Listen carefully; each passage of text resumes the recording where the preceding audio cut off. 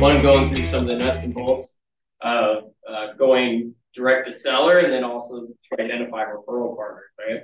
Um, currently own 35 rental units. We picked up a 14 unit property last uh, May, I think it was, April. Uh, five unit in uh, Marysville, and then a bunch of different duplexes and triplexes. And then did a lot of those properties by uh, doing the BRRRR method, right? Finding properties that were fixers and uh, fixing them up, refinancing them, number of lenders here, and then renting them out. So, you know, over time, I've, uh, you know, been flipping properties for a while, and occasionally I'll, I'll grab a couple units and keep them for myself. And that's how I've created my entire rental portfolio. Done over, uh, we've done over 60 flips and currently doing about 12 or 15 flips a year. I think last year wrapped up with about 13. Only lost money on two, so that's not bad for a crazy market. Uh, yes, there are challenges, hurdles, especially last year. Uh, first, like massive shift that I experienced, and probably a lot of you know the market went down about 15% since May.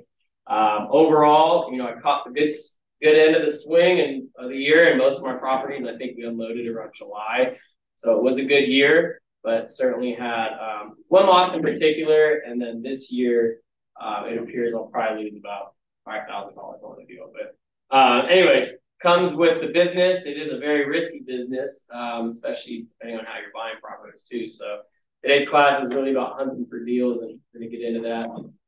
Chad's background joined me uh, about four or five months ago, our team. Yeah, so I uh, my background, some of you guys know, is in lending. So I was a, a lender since 2003. Um, and then before coming to this, I managed teams in California, Arizona, Florida, North Carolina, Illinois. We're the largest holder of real estate in the United States, Blackstone and Invitation Home. Those guys are, but kind of changed our market back in 2012. Um, and really, my background is in flip property, the preferred lender for some of the largest flip investors in Northern California and the nation. So understanding how those guys work, how they operate, it's something I always wanted to do, and out of fear, never did it until Bobby's wife prodded me, and uh, and then ultimately made the the total career switch uh, to come partner with Bobby. Who's also here. Yeah. so, um, and enjoying it. So that's uh. Yeah, and I think uh, you know in this industry, once again, whether you're buying for yourself or helping other people find, like it's important to partner with with people, especially navigate a lot of the risks that we've been seeing. This is a market that I have not really seen. Maybe a lot of us, I know Sean and Chad and Scott and sort of like a handful of people here have been really have been in the market for decades, and you guys have experienced some of the roller coaster rides and a decade. Um, Yeah. I'm getting close. I've been a half years, eight years uh, since I got licensed, but obviously, you know, these are unprecedented changes that we've been seeing in the economy due to you know a pandemic, right? And we're seeing the aftermath of it, and um, certainly swings in the market because of that. We're you know get into a little bit about how um, we're adjusting for that. So we'll get rolling now. So one thing I want to ask you guys, you know, it's important for us. Uh, this is the first time that we've done this class, and so we'd like to hear from you guys. Like, what do you guys want to get out of this class? Is there something specific? Is there some like a strategy, a whatever it might be. So I wanted to write those questions down and then hopefully touch on those at some point. If not, then if we don't, but I want to make sure that we're we're getting into that at some point. So, and we want this to be interactive. I put uh, the slideshow. Essentially, it's there in a packet. There's notes. There are places to write notes down along the way. And the second one is just a scripts intake form that we use when we're qualifying leads and then trying to build rapport. Um, so I kind of put that together for you guys to give you an idea of how to do that. Um, it's not natural for all of us, and sometimes it's easy to go through kind of a checklist along the way. So, what are some things that you guys want to take out of this? Um, I think estimating the cost of things and then finding people to do the work. Sit right next to Oh. So sometimes, like in different industries, I've like done that little, or I've been involved in that intro thing. I'm like, why are we doing this? And I listen to something other day. It's like you hear the elevator pitch, like I think in the industry, right? Oh, that guy has money. That guy's a contractor. He finds tenants. They do, rest, you know, things like that. So you know, have probably have some time to network and connect with people a little bit after. So got a contractor. I was just think back what she says, deal analysis. You see the property, how you kind of you know very down and very not get actual numbers, but down and very very good. Yeah. You won't see him until you get there. Yeah. How do you stay organized? Whole. That's uh, I've been running and gunning for a while by myself, and my wife has helped me. We've hired a virtual assistant. Chad's came on the team, so there's a lot of moving parts for sure. We could dive into that a bit. A lot of these slides are, you know, for the most part on hunting deals, a little bit on, uh, you know, how to uh, analyze deals, and we could get into some of these other questions for sure at the end. uh, what I'm what I'm here for. Yeah, primarily hunting deals. Um, I feel like MLS. Uh, I feel like there, has got to be better deals than what MLS has to offer sometimes. So kind of networking, primarily knowing the right people to ask. Yeah, cool. Okay. Where you get your finance? Let's talk about that. We're brokering hard money now. If anybody that knew that or whatnot, Chad joined the team, and uh, I actually got my mortgage license as well. Some of you may know. Um, so we are uh, brokering hard money loans as well for financing. So we help Julie and Sal kind of find a property and finance property, and certainly helping them like promote a little bit. But So how many brain cells do you get the mortgage license? Oh, tons. Go for it. I have two questions. Um, finding deals not on the MLS, but with the wholesalers. Okay. And what is your turn time on your mortgages? Is it shorter? Can it be a few days, a couple days? You know, how long do your mortgages take for as far as the hard money side? So you mean like from contract to close? Yeah. Um, Contracted, yes, exactly. yeah, you get a con- you get a contract today, and how long is the hard money? Uh, anywhere from ten to fourteen days. So that's kind of long. Mm-hmm.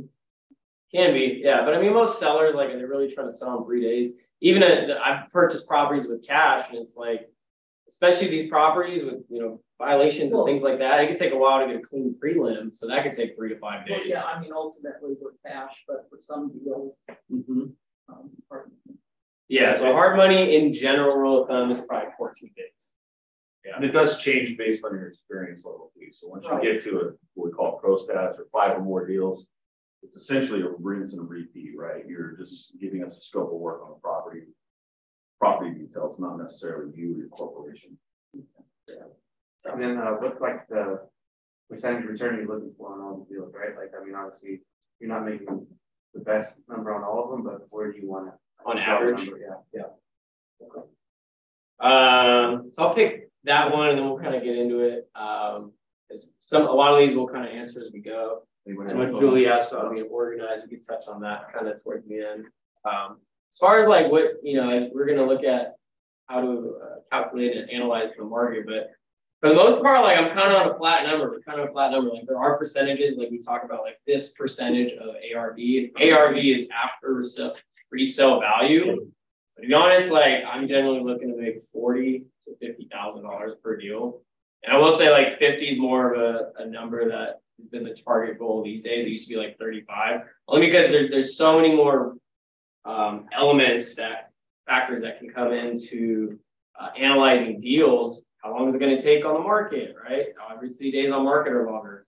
Um, inflation, costs went up a ton for all materials and things like that the last couple of years. Obviously, when you open up the walls, you guys are getting started. Oh man, we didn't calculate for that. So there's um, obviously having some cushion in your numbers is important. And you know, when you're doing hard money, like you're buying cash, it's one thing, but if you're doing financing, it can be um, you know challenging to find that exact uh, you know number that you're trying to hit with like, everything that's going on in the market and the economy. So on average, though, forty to fifty thousand is like what like what I what we kind of analyze, but everyone's different, right? You know, if it's the first deal or something like that, like you know, making twenty thousand dollars is a lot of money, right? You Make you do ten deals in a year, it's two hundred thousand dollars, right?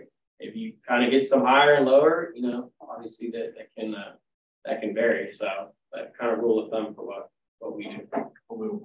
Talk, Sorry. On wholesalers, how do you negotiate those guys that can actually your property?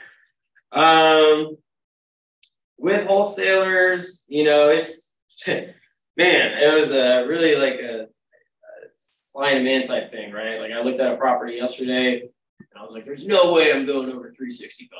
And telling that in my mind, and he said someone else at 370. I was like, "All right, I'll do 370." text me, text me later. It's like we got a verbal commitment at 380. Can you do that? And so I'm like, "Yes." So it's one of those things like, you know, what are you gonna do at the end of the day? Like the person who holds the contract sometimes has has the ability to manipulate what, what, what price is going to be and whether they're truthful with some things and what other offers come in at. Um, obviously, things are different these days. There's less investors out there that are buying properties.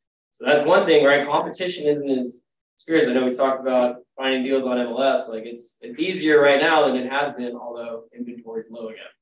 So we'll kind of get into the presentation and every you know slide that we got going on here you guys can ask me questions if you need some more clarification on some things, and we can you know do a Q and A at the end too. And we'll um, hopefully have some time for like networking and talk a little bit after. So we're rolling.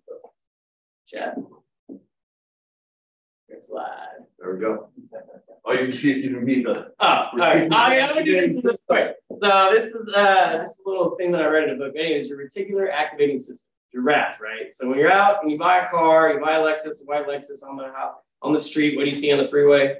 I'm generally going to see that white Lexus, right? So this is kind of shifting our mindset, right? If you're a traditional realtor, you've always been helping traditional buyers and traditional sellers, and you're going through a neighborhood and it's boarded up and there's tarps on the roof and things like that. I think just changing your mindset is something that is a goal today as we're thinking out in the world. I know Scott and I have been connected the past like 18 months or something. Like something either we got closer or you know his mindset shifted a little bit he's like dropping his daughter off at school. He's like, oh man, look, this house is all boarded up and stuff. I'm like, sweet, thank you, man. Like, we'll, we'll see if we can make a deal up. So it's changing your mindset on these things and how you're, you're thinking about real estate and where money can like be hiding under this rock under here that you don't even realize. Uh, do you guys also do commercial property? Um, no, I've, I've sold some commercial properties, but it's especially, you know, I apartments technically anything over four units is commercial. So I think that 14 unit apartment and there's another five unit and then some things like that, but uh, not office buildings, not gas station. I've sold some of these things, like listed them for clients, but um, you know, probably, you know, I think another thing, don't get too squirrely, kind of stay in your lane, whether it's your neighborhood you want to focus on or you know, betterment bath count and a lot of these different things that I've kind of learned, especially this past year, um, that you want to be comfortable with the what you're you're aiming towards as your goal. So hmm. yeah. All right, so we'll be rolling. So where do these deals come from? They're flips or distressed deals, right? Someone who has like a perfectly good home, not trying to fire sell that thing. Right. So they're always, in most cases, distressed uh, situations. It's a higher probability that the seller is in some type of financial position, right? And they require that cash upfront, like they want it quick, right? There's a lot of things, and we'll talk about this later, you know, trust, probate, there's things going on, emotional things that are going on where they don't want to deal with. I just dealt with this recently where we didn't want to deal with the passing of a loved one and having to go in and fix the house up and do all this stuff, right? It's just one of those things that um, people have really hard time with. And so that's where you guys, us, can come in and help them out, right? Doing these deals without uh, getting inspections done necessarily or traditional financing. These houses are sometimes pretty messed up. And I don't know if you guys have seen it on Instagram. We've been posting some yeah. videos. there, there's no chance of doing a regular loan. Yeah, there's a couple pictures of uh, property bought in Marysville and it's like call it COVID special. We got guys here. suits, there were rats in the house. Like Taylor and I actually walked this house. He just stepped out. Him and I are potentially going to buy it together. There were cockroaches going through the dog food. Like it was pretty disgusting house. And even my my workers are like, I don't want to touch anything. So definitely a shed. Water. Oh, well, that's every week now. Like, yeah, yeah, that's a it's a rite of passage. Yeah. The rain and the cold winds. Body, for sure. Yeah. Uh, question: Do you do courthouse sales? Um, I've been there, I haven't personally, so, you know, courthouse versus on market or whatever, like, you have to go cash to the courthouse, right? You literally have to show a double bag or whatever, envelope of cashier's check, right? So you got three hundred, four hundred, five hundred thousand dollars, you wanna go there, some people, they'll buy at the steps, this is not something I actually talked about in the presentation, but you'll buy there and then you'll refi hard money, right? If you wanna keep your cash liquid, but then you're paying closing costs twice. And it's actually very competitive down there, like, um, not a bad place to find buyers. Like I was talking to Chad, like we should start reaching out there a bit more and, and connect with the people that are at the courthouse steps that are looking for deals, right? Or maybe they have deals they want to sell you. It's a good networking opportunity.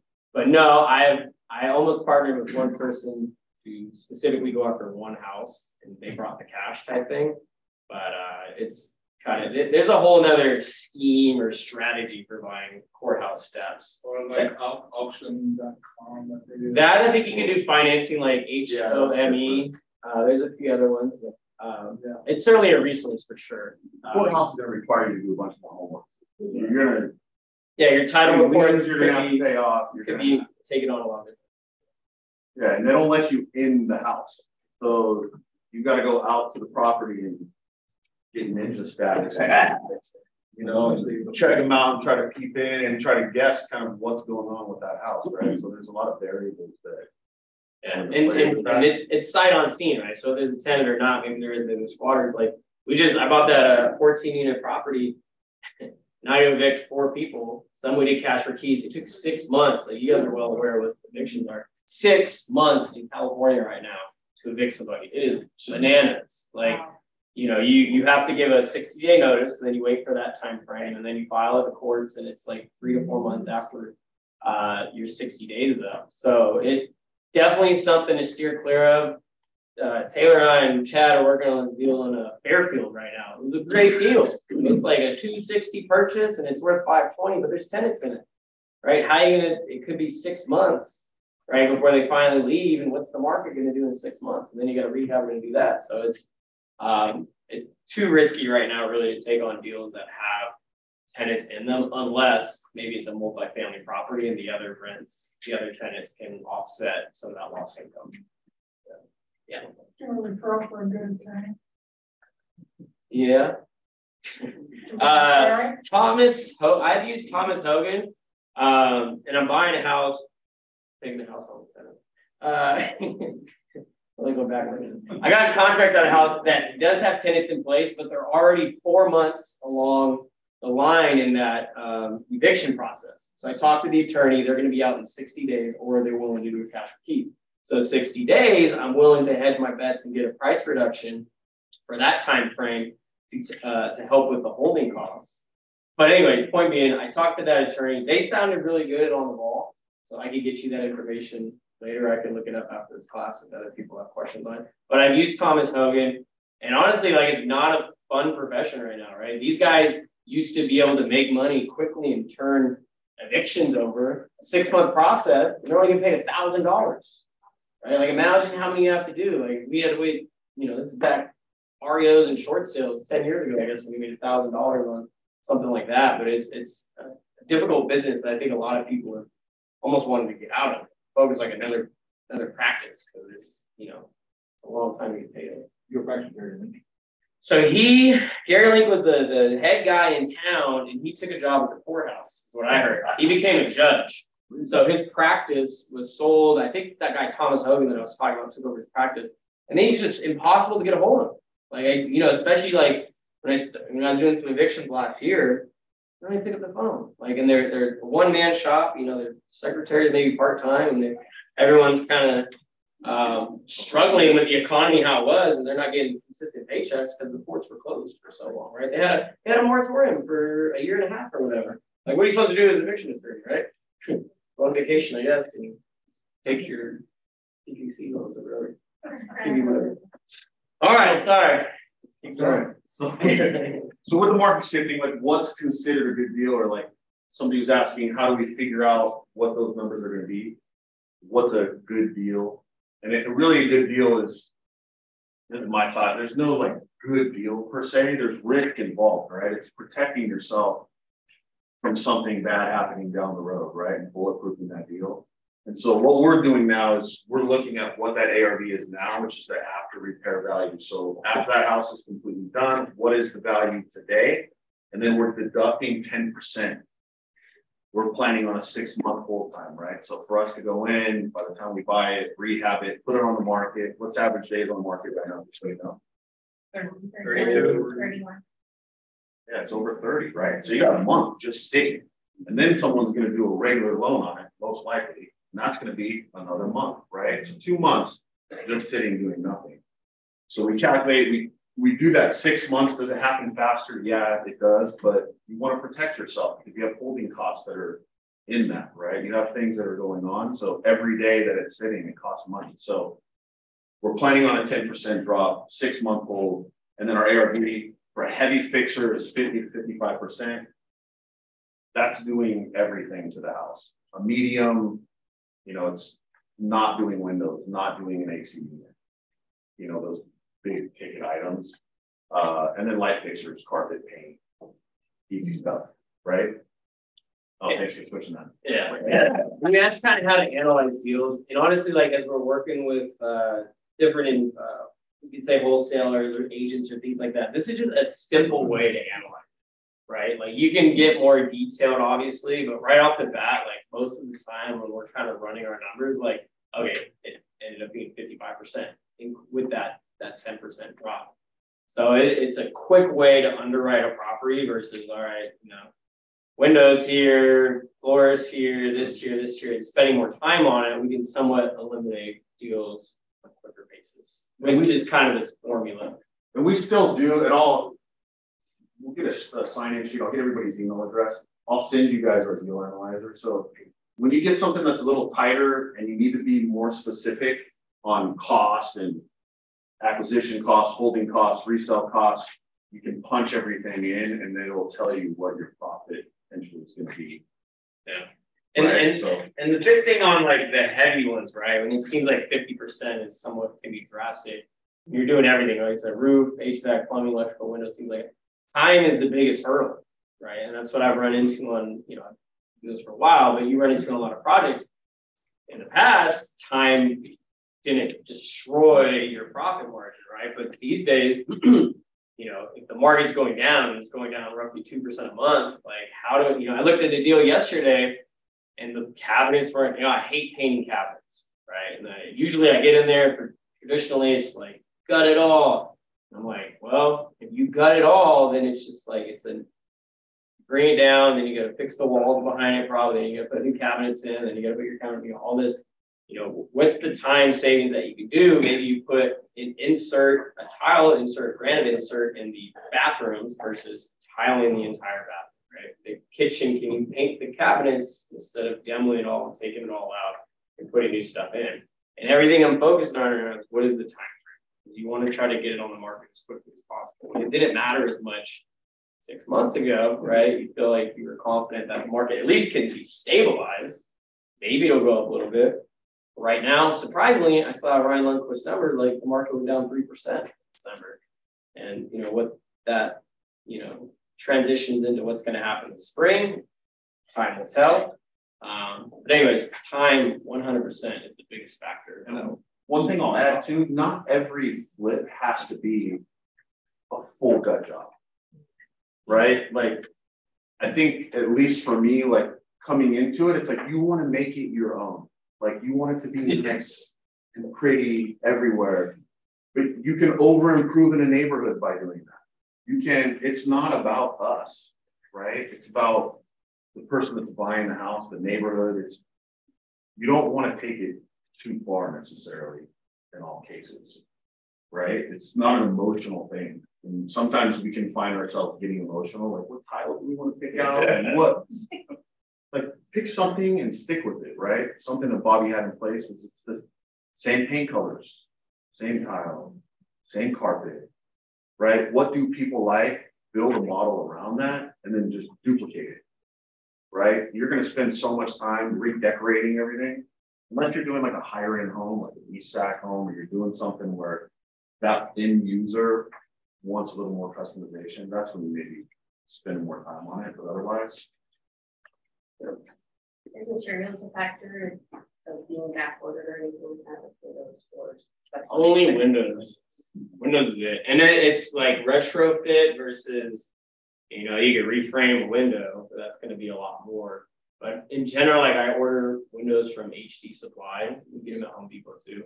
Um, HD's, I think Home Depot bought HD Supply or whatever. Um, anyways, like they, uh, from my experience, has been the cheapest, and they'll come in maybe three to four weeks. It kind of depends on how custom maybe that window can be.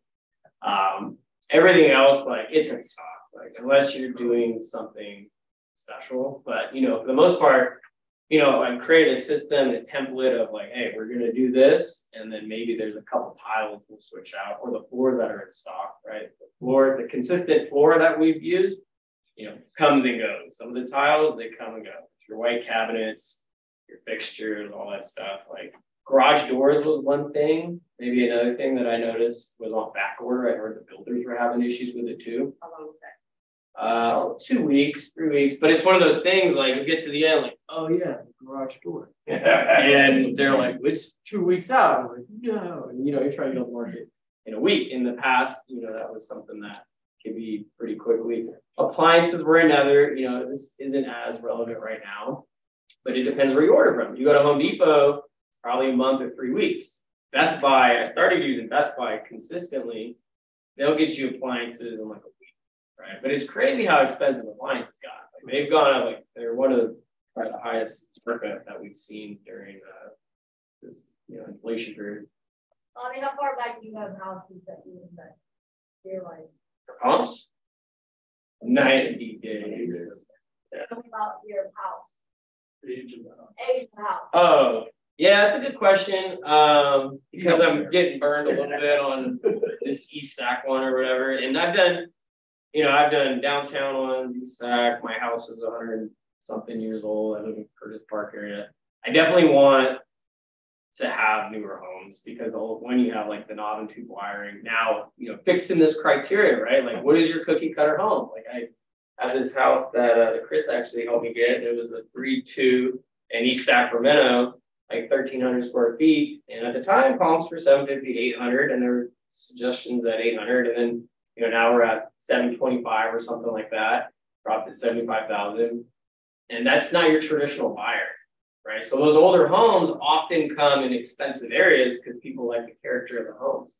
So, you know, a seven hundred thousand dollar buyer at six or seven percent interest rate, you know, a small family, do they want to spend five thousand ish dollars a month, six thousand a month? Probably not. So like the cookie cutter three twos that are in the Rosemonts and I don't know, West Sacs or you know, Fair Oaks, Carmichael type thing, kind of looking for where is your bigger buyer pool going is kind of uh, a strategy for sure. That's I think more important as we analyze it because the old ones, you know, your, your piping and the other thing, old houses. It's also because of interest rates too, right? Interest Yeah. rates for somebody buying a six hundred thousand dollar home, four hundred thousand dollar home, it's drastically different, right? Yeah. So the buyer pool, like you said, is way bigger in that entry level market than it is in the higher end homes.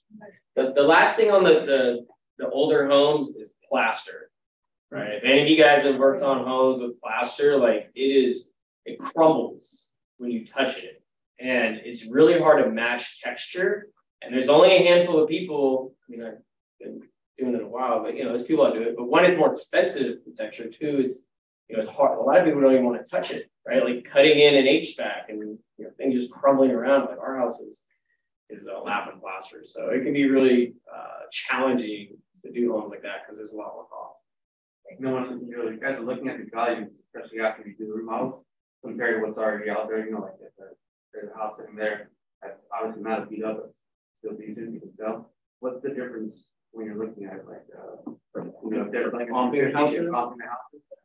So if they're selling at three fifty, three sixty, like you got yourself, you know, a fresh house that you're ready to sell, what are you looking at, like how much do you at that point list it for?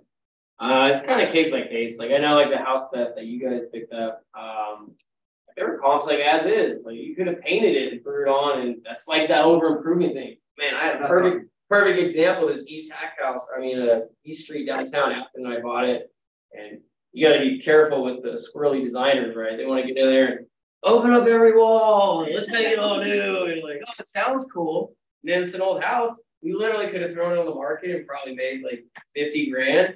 We did the whole flip, you know, eight month process. This was like a year and a half ago. We made like fifteen grand.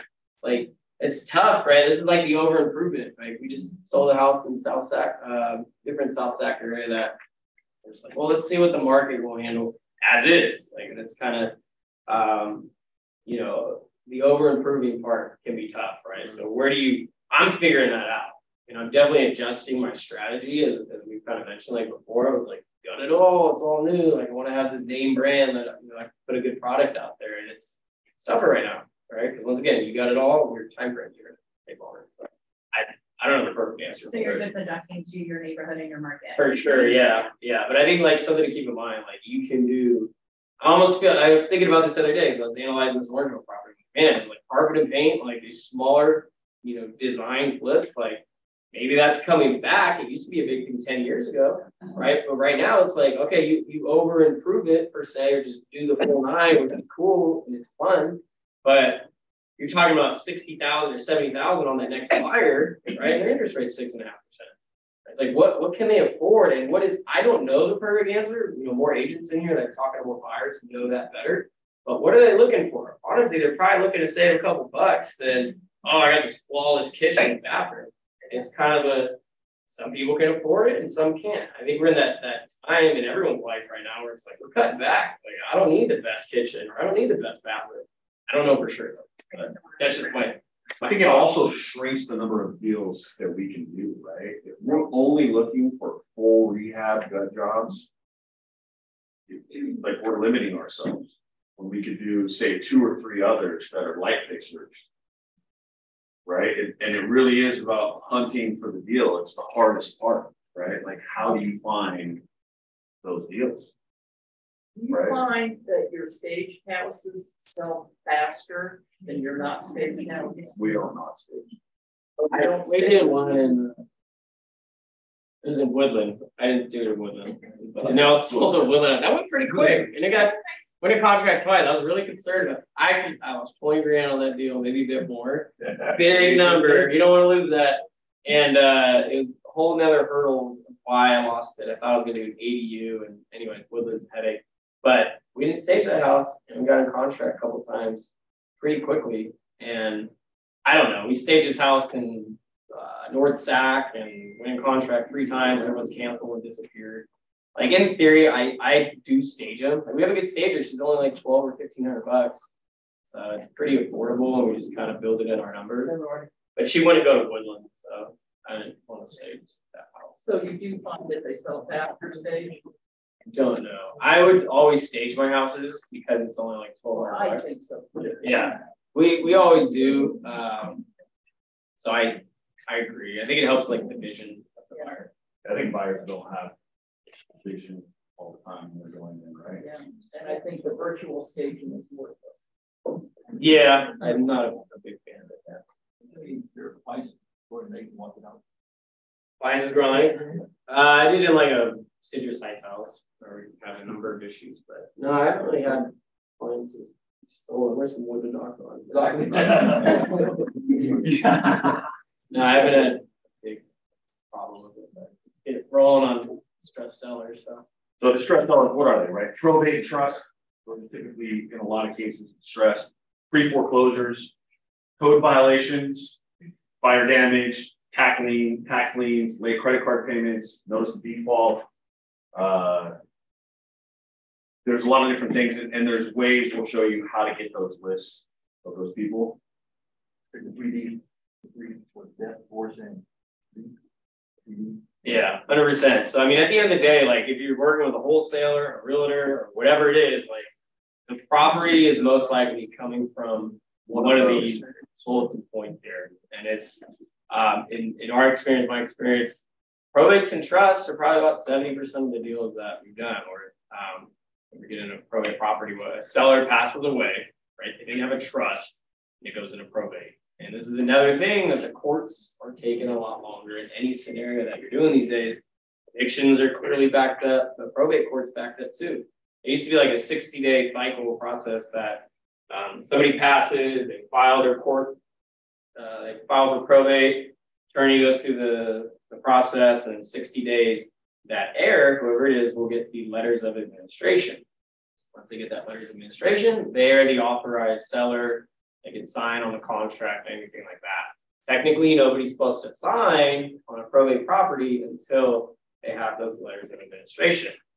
So um, these properties often have deferred maintenance, right? For a number of reasons, but if someone either it could be an unexpected thing or um, could have just lived in the house for a really long time and never went to the hurdle of you know effort to putting their property in a trust, and then the next person in their family, whoever is claiming it, um, has to go through a process. They're, they have to hire an attorney. Some about two or three percent. Sometimes the length in that whole uh, process makes them think like, man, I don't want to have to deal with a realtor or I don't want to have to deal with a market or this and that. So within those timelines, and now that it's longer, right? It used to be 60 days. Now it's anywhere from 90 to 120 days. Right. So I think the mindset of a person who just inherited a house is like, how do I get rid of this thing?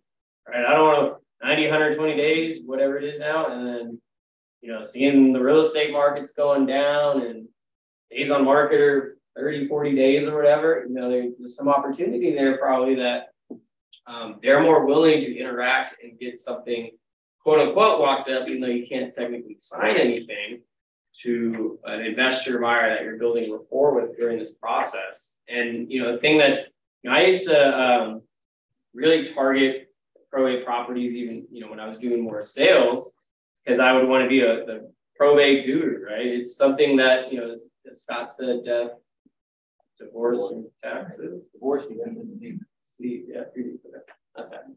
Um, you know that that it's it's consistent, right? Unfortunately, you know, people are always passing away, and it's a source of business that's always going to be there, right? So I was targeting probate attorneys in this, and I was wanted to provide a, a packet of like, hey, I can help you with clean out, I can help educate you on the process, you know, what the timelines are, paperwork, you know, you have to have a probate uh, documents with the car forms or real estate forms that you know I'm more familiar with. So it's a niche that one has a lot of opportunity with investment, and two is always going to be a, a, a of business that you know is never going to go away. Uh, then we have inherited properties. You know, all these they're very likely to sell within the first 12 months. There's like a percentage of them, but you know, essentially, someone just inherited this property. Are they in state? Are they local? Are they, um, you know, have the knowledge to maybe have it as a rental property? Are they able to refinance it? Do they qualify for it? So there's a lot of variables that come into place why probate is like the number one source of distressed properties that tend to sell to investors. Um, probate's file, I mentioned, it is, becomes public record. And this is why it's easy to obtain these records and pull lists uh, you can literally go down to the courthouse and pull the list of the last 30 days of probates that were filed in Sacramento County. Not all counties um, have that ability, but I know Sacramento does. And then there's other sources that we're going to get into, tools that we use that you can pay for those lists. Um, so best practices for marketing of probates, pull the records, call them, text them, you can mail them. Uh, finding agents that sell a lot of probate deals. I know Daniel Wakasabi or something like that. He's at Lions. That guy's notorious for crushing into probate real estate. He's got all these referral partners down Lions and um, Land Park area. And then there's another guy, Tyler, that I connected with in Roseville. And, you know, he's doing like four probate listings a month. So it's, it's a huge source. And it's, you know, a lot, some people it's networking with attorneys and some people, I think the Daniel guy, he's just like relentless in his approach on how he um, reaches out to you know, it, it's difficult conversations, right? Somebody passed away, and you're looking to help list their property, buy their property, whatever it is. In some cases, though, people are overwhelmed when this process happens, Like Chad was saying, and you know, the way they're looking for help and how do I navigate through this situation that they just took on a property with who knows else what's going on, you know, emotionally. I, I think too, with a lot of these, you know, people dealing with those situations, they're not in town right? They're what contractors do they know? How do they even get the house ready, right? And it's the same fear that people have when even flipping a house, right? Like, how do I even approach it? What do I do? They people that are in those positions, they don't necessarily know the contractors, they're out of state, they're not local. Right? They just want to sell the house and be done with it, right? In addition to the emotion, I think there's other things. that- Yeah. So let's give phone numbers and contact stuff, I can contact. Phone numbers, text messages. How to we'll, we'll go with that, yeah. But, it- you know, additionally, like, you know, I tried to say, like, the, the mental hurdle, emotional hurdle, and then it comes with the time length, right? As we said, like, it's now taking almost four months, three months for a probate court to make those decisions. They want to get the ball rolling ahead of time as much as they can. So anyways, networking with probate attorneys, that was a big focus on my business five, six years ago when I got into real estate as I wanted referral partners. And, you know, on average, like I'm getting one or two deals from attorneys. It can be hard to contact, but you can look up lists, uh, Sacramento attorneys and go to their office, call them, mail campaigns, whatever it is, go to events, go to mixers.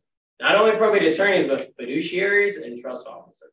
So those are like two pieces of the puzzle that I didn't quite understand years ago when I was really going hard on um, uh, you know, networking with probate attorneys is fiduciaries is in essence if there's no error in some cases or if um, maybe the person that would be um, inheriting the property once it goes through the probate process you know, this fiduciary will be the signer right? So there's people that are out there that are signing as a seller, a fiduciary or a trust officer for 20 to 30 deals a year.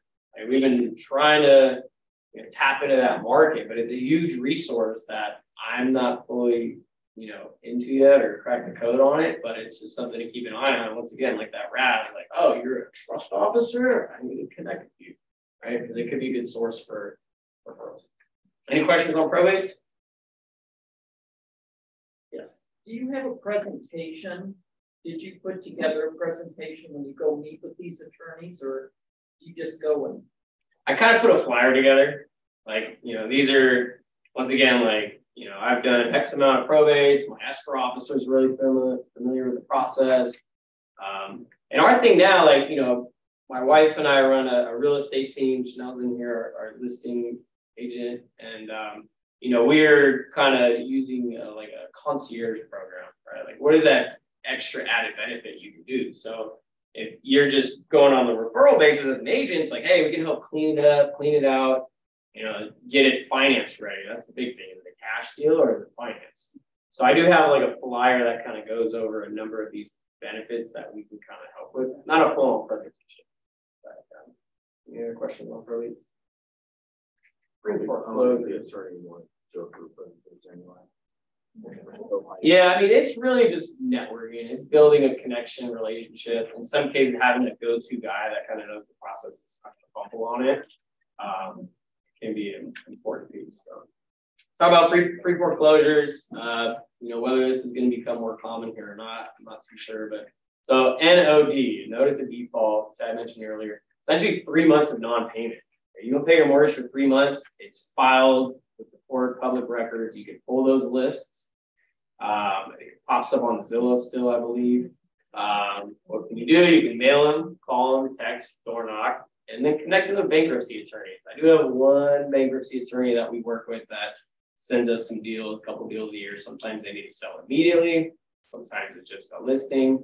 Um, but certainly uh, connecting with attorneys and referral partners, asset managers for banks, REO accounts, whether this is going to come back full fledged here in the next six to 12 months, I'm not sure. Um, but you know, asset manager and uh, real estate owned account, the base of those are foreclosures, right? So when somebody it, when they actually go to foreclose, an asset manager has the ability to sell the property and, and select a real estate agent, or maybe they have connections with realtors in some case or investors that can buy like properties. Like maybe they got five properties in Sacramento area, so you just want to get rid of them. So that's kind of what a, an asset manager and REO. Finding realtors on MLS, or you know, finding identifying realtors who specialize in something is a little easier these days, right? Like there's a listing condition on MLS that you can look up uh, realtors that specialize in probates. You can look at one specialized in court approved sales, often in bankruptcy, it has to be court approved.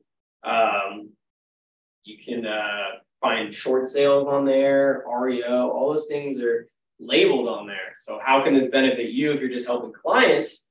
Well, talk to those agents, say, hey, I have an investor that wants to buy property, cash, whatever, flip or whatever.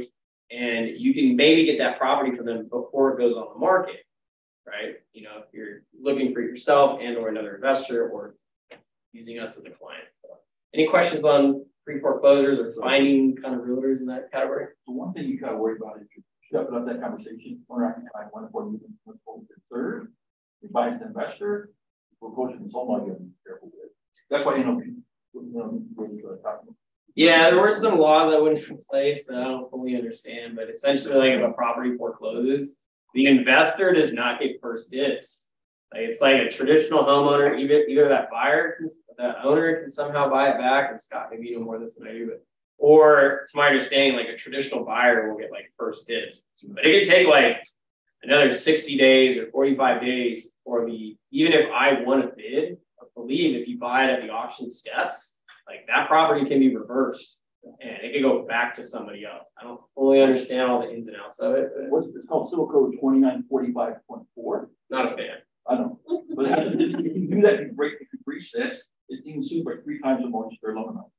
So they have a two hundred thousand dollar loan amount, you can sue for six hundred thousand. So there's some certain things you gotta go in there with your documents, make sure you do it correctly, so very careful in that conversation. It's California stuff. Yep. Right? You have six months with big people, and it closes somehow it's back. And it's only after the notice. Yeah, correct. Filed, Yeah, right? yeah. Have the four hits, you got one owner occupied, one and four, um, what's it, that's right. Owner occupied, one and four, just roll considered, any of your buying is professional, or representing profession. that's the, that's probably. The way you walk in, give them documents, sign it, I finish this day, then like five days later, they sign it again. Like, check your attorney, I'm not kidding. Yeah. But it's- Yeah. No, there's, there's an extra form in the hard forms that You know, I forget. Yeah. So it's not a fault person. Yeah. Yeah. Sal, if we were looking at a, um, foreclosure in Woodland and there was something in the MLS, I forgot what the clause was or what it said, but basically the listing price is what the price they wanted to sell for. You couldn't offer any less, you couldn't go in with a lower uh, price with that, that's exactly, and then you have to wait till they lower the price. So I saw it fifty days later, it dropped like fifteen thousand dollars. Yeah. And then another forty-five days later, it dropped again, but finally pending now, but so can you approach those any other way or? The, the banks now, when they're listing these foreclosures, they're saying for the first thirty days, this is what I'm finding, first thirty days, we're not doing anything on the price. Okay. We're keeping it the way it is. Right? And so what I would do is just market as a follow-up. Mm-hmm. Yeah. right? And call and talk to the agent, to build a relationship with the agent, and then follow up with that agent. And I wouldn't wait the full month. I would maybe wait two weeks and then call and check in, see what the activity is on it. Oh, we've already got offers over, whatever is, right? But maybe they haven't, and then follow up again. So it's after, but set a reminder in your calendar so you're following up on the day that thing can go lower. You're just saying after thirty days, there's a possibility for them to negotiate at that point, or? or They're just, what I'm seeing is the banks on the foreclosures right now, they're not letting anything. And it, the offers in some cases don't even go to the agent, you have to upload them into a Yeah. portal. Yeah, that's, that's. It goes- Portal. Yeah, so they're not even looking at them for the first thirty days, anything lower than that. That doesn't mean you can't make the offer, it doesn't mean that you can't follow up with the agent, keep in touch, build a relationship, right? Okay. And that could be short sales as well. And I think, you know, Yeah. we're in a time that the banks are familiar with, right? It was ten years, fifteen years ago, whatever it was, thirteen. Yeah. Um, and, you know, they weren't familiar with what to do then, right? Like priced at four hundred thousand, now the prices are dropping fifteen percent, right? So they're obviously not trying to just give it away, but they gotta, you know, be, come to terms with reality of what's going on you know, thirty days from now, forty days from now, as they're understanding the market. So it's, it- you know, foreclosures, you know, it's a different process. And then with short sales, it's like, we have the bank approved at this price and then this price. And And I- then that could be why they have that thirty day thing, maybe they're trying to see if the market's feeling. Right, for them to jumping. understand it. Yeah, I mean, nobody really knows. Which is right. We're all listing Yeah. agents and throwing properties up, like, especially a handful of months ago, three months ago, whatever, like, we didn't know what the price was. The comps say this, but consumer confidence buyers said this, right? What appraisal says and what a buyer's willing to pay is completely different, right? We're all trying to figure out, navigate through this tricky market right now. Any other questions on? Um, fire damage. Big fan of fire damage. Fire, fire damage property. Probably down like six now, which is part of it. I think for some people it can be like overwhelming, daunting. And I think it depends on the stage they're in too. Like if it's um charcoal and you got all the you got all the contents in there and you know it's just a mess like holy crap this is overwhelming right you gotta clear it out demo it blah blah blah bring it down to the studs like He's watching the news and he's like writing down the address. yeah there is some uh, strategies to find those properties for sure um and then there's the one like I bought one in Natomas maybe a year ago or something like that and it was all a restoration company came in, they cleared it out, it was down to the studs, it was clean and pretty and ready to go for me. I loved it. Um, why I like these properties and why they can be very profitable. One, in the past, right? You know, bigger projects can often lead bigger margins. But then comes in time, right? So I talked about time earlier. But the thing I like though is that insurance companies write a check to the homeowner, right? If it's a um, a tenant property or landlord property, not owner occupied, they're more likely to not have like emotional connection to this property. The tenant just moved out, they got this massive, overwhelming process of remodeling the property they barely care about, like a cash flow to hand a couple hundred bucks or whatever. And they're like, why do I want to go through this mess? Right. So insurance companies, when they get those restoration contractors or um, you know, insurance preferred contractors or adjusters, like they can have bids for like three hundred thousand dollars or something crazy. And I've been able to complete the projects for 120 or 150 or like half, 50 cents on the dollar from what the big companies call for. And the restoration companies, like it's, you know, crazy too. You know, it's all perspective, right, of what a company can do something for. But, you know, demoing a house and airing it out and securing it and any type of restorations, I think, are very expensive. And um, so, anyways, the homeowner can get a check from the insurance company. Let's say the property's worth four hundred thousand. What if they just got a three hundred thousand dollar check from the insurance company, right? And the only hundred thousand was what is left between that check and market value, and then the investor comes in and says, "I'll pay one fifty because I can do it for one fifty, and I can still make a hundred grand." Right? So, um, I do like fire damage properties because the insurance companies you know, are able to give them a big check. It's easier to negotiate the more flexible price. Instead of going on, you know, KCRA and following the news for fires, uh, I do have friends tag me in reports. It's kind of funny. They I'm a big fan of fire it's, you know, all these are emotional things. So you got to approach with caution, obviously. But there's a uh, website, firedamageproperties.com. So they will literally send you, you know, leads every month and it could be a little grass fire in the lawn, probably don't want to target that one, or it could be, you know, legit fire and you know, you know, it's you know injured in the uh, event. But um, yeah, at that point you have their information, you can mail them, call them, text them. And a lot of these lead sources, we're going to get into the tools a bit later. They don't necessarily have phone numbers or emails. You have to skip trace them. We'll go into that a bit more and how you can actually contact them. Uh, the other thing, and I kind of started a networking uh, campaign, and I said kind of because it wasn't full fledged. You know, all these things work at the end of the day, right? But what do you spend your time on? What do you focus on? What do you go hard on, right? Networking with restoration companies, right? And I've purchased properties where the homeowner had zero insurance. That was unfortunate for them. And I've had ones that um, they got the check from the, the, the insurance company, this restoration company did maybe the clean out, but they didn't want to go through the whole process of managing a remodel for four months. So they're like, might, might as well just get rid of it, right? So there's some opportunity there. Driving for dollars or listening to KCRA, I guess, for um, is a way to find some other property. So on the fire, we the fire check, you cut you homeowner and the lender. So how do you do that process? The insurance company? Yeah.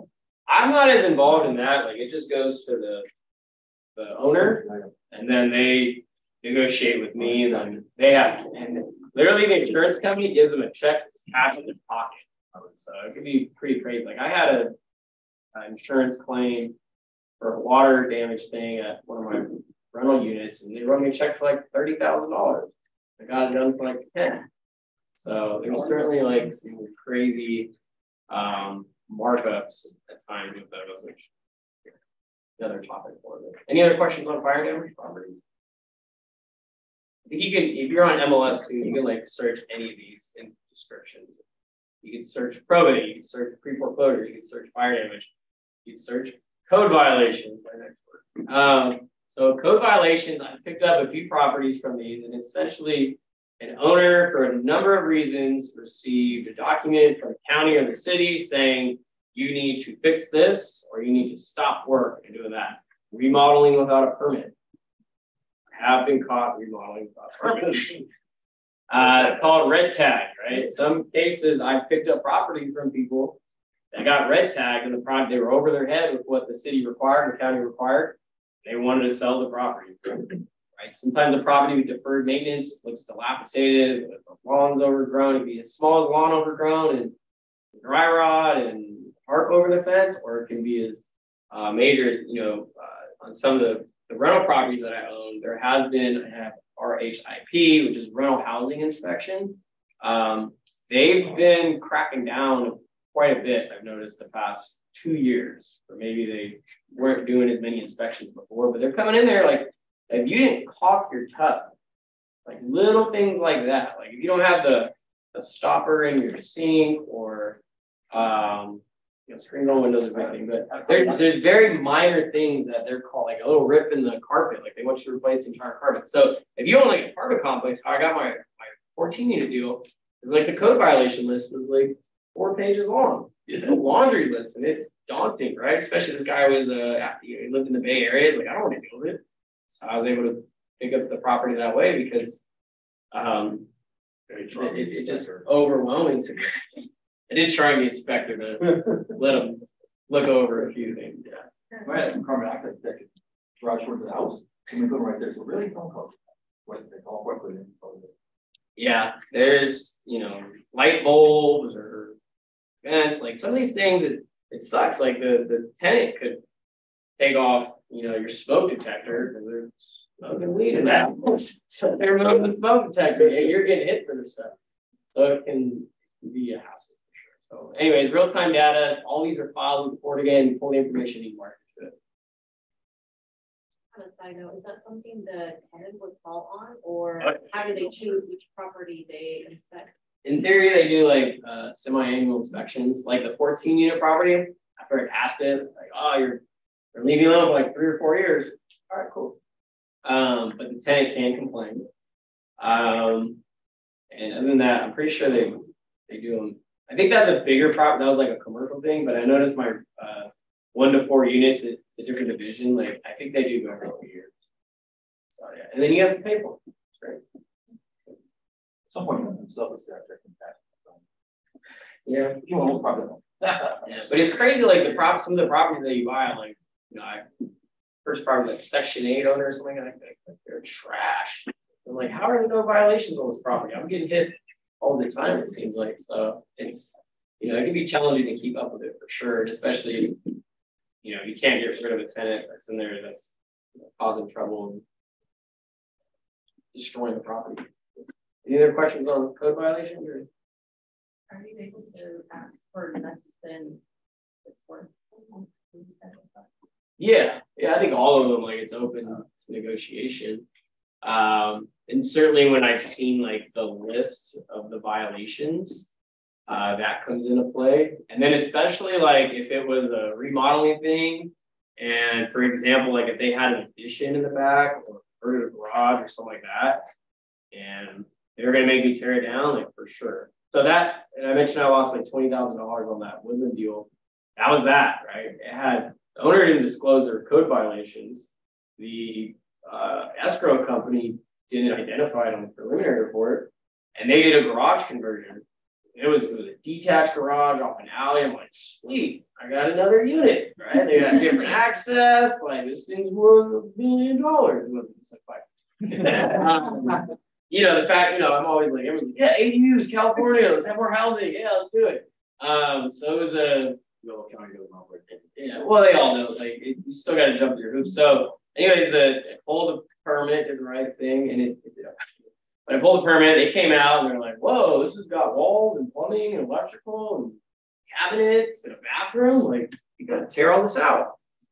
I literally had to bring it down to the studs after it was done, like, everything had, I was gonna do the floors and paint it. That was it, it was cool, it looked good, right? I thought, you know, I had this hundred thousand dollar asset, no, they told me to tear it down to the studs. which I wasn't aware of, so there was a couple things, one, I got caught by the market, two, uh, the seller didn't disclose that there was. Uh, they had a violation from it, um, so yeah, it has a huge impact on what the property's worth in that scenario, like. You'll see wholesalers or agents or whomever, like, yeah, we got this like two hundred square foot. Extra square footage or the garage converted with plumbing or whatever it is. That sounds good and great, but it's not if you're having to pull, if you're gonna pull a permit and they come in there and they're like, rip it out. I've What if, what if, the- two what if the seller like says they, they don't know, if they bought the house, but it was like. A lot of them do, and that- and now, like, from experience, I'm like, that's cool, I'm not gonna deal with it, right? You're either gonna come down on price and a year and a half ago, like, I didn't care. And but now, like, you start doing things on volume and you're doing X amount of projects, like, you're gonna get red tag one if you don't pull permits, so I do pull permits on majority of things. Now, technically, you're supposed to pull a permit if you change a fixture. If you change your plumbing fixture, if you change a window, like, you know, minor things that all of us have done in our house, when you swap out an appliance. Like all these things, technically you're supposed to pull a permit for. Does people do it?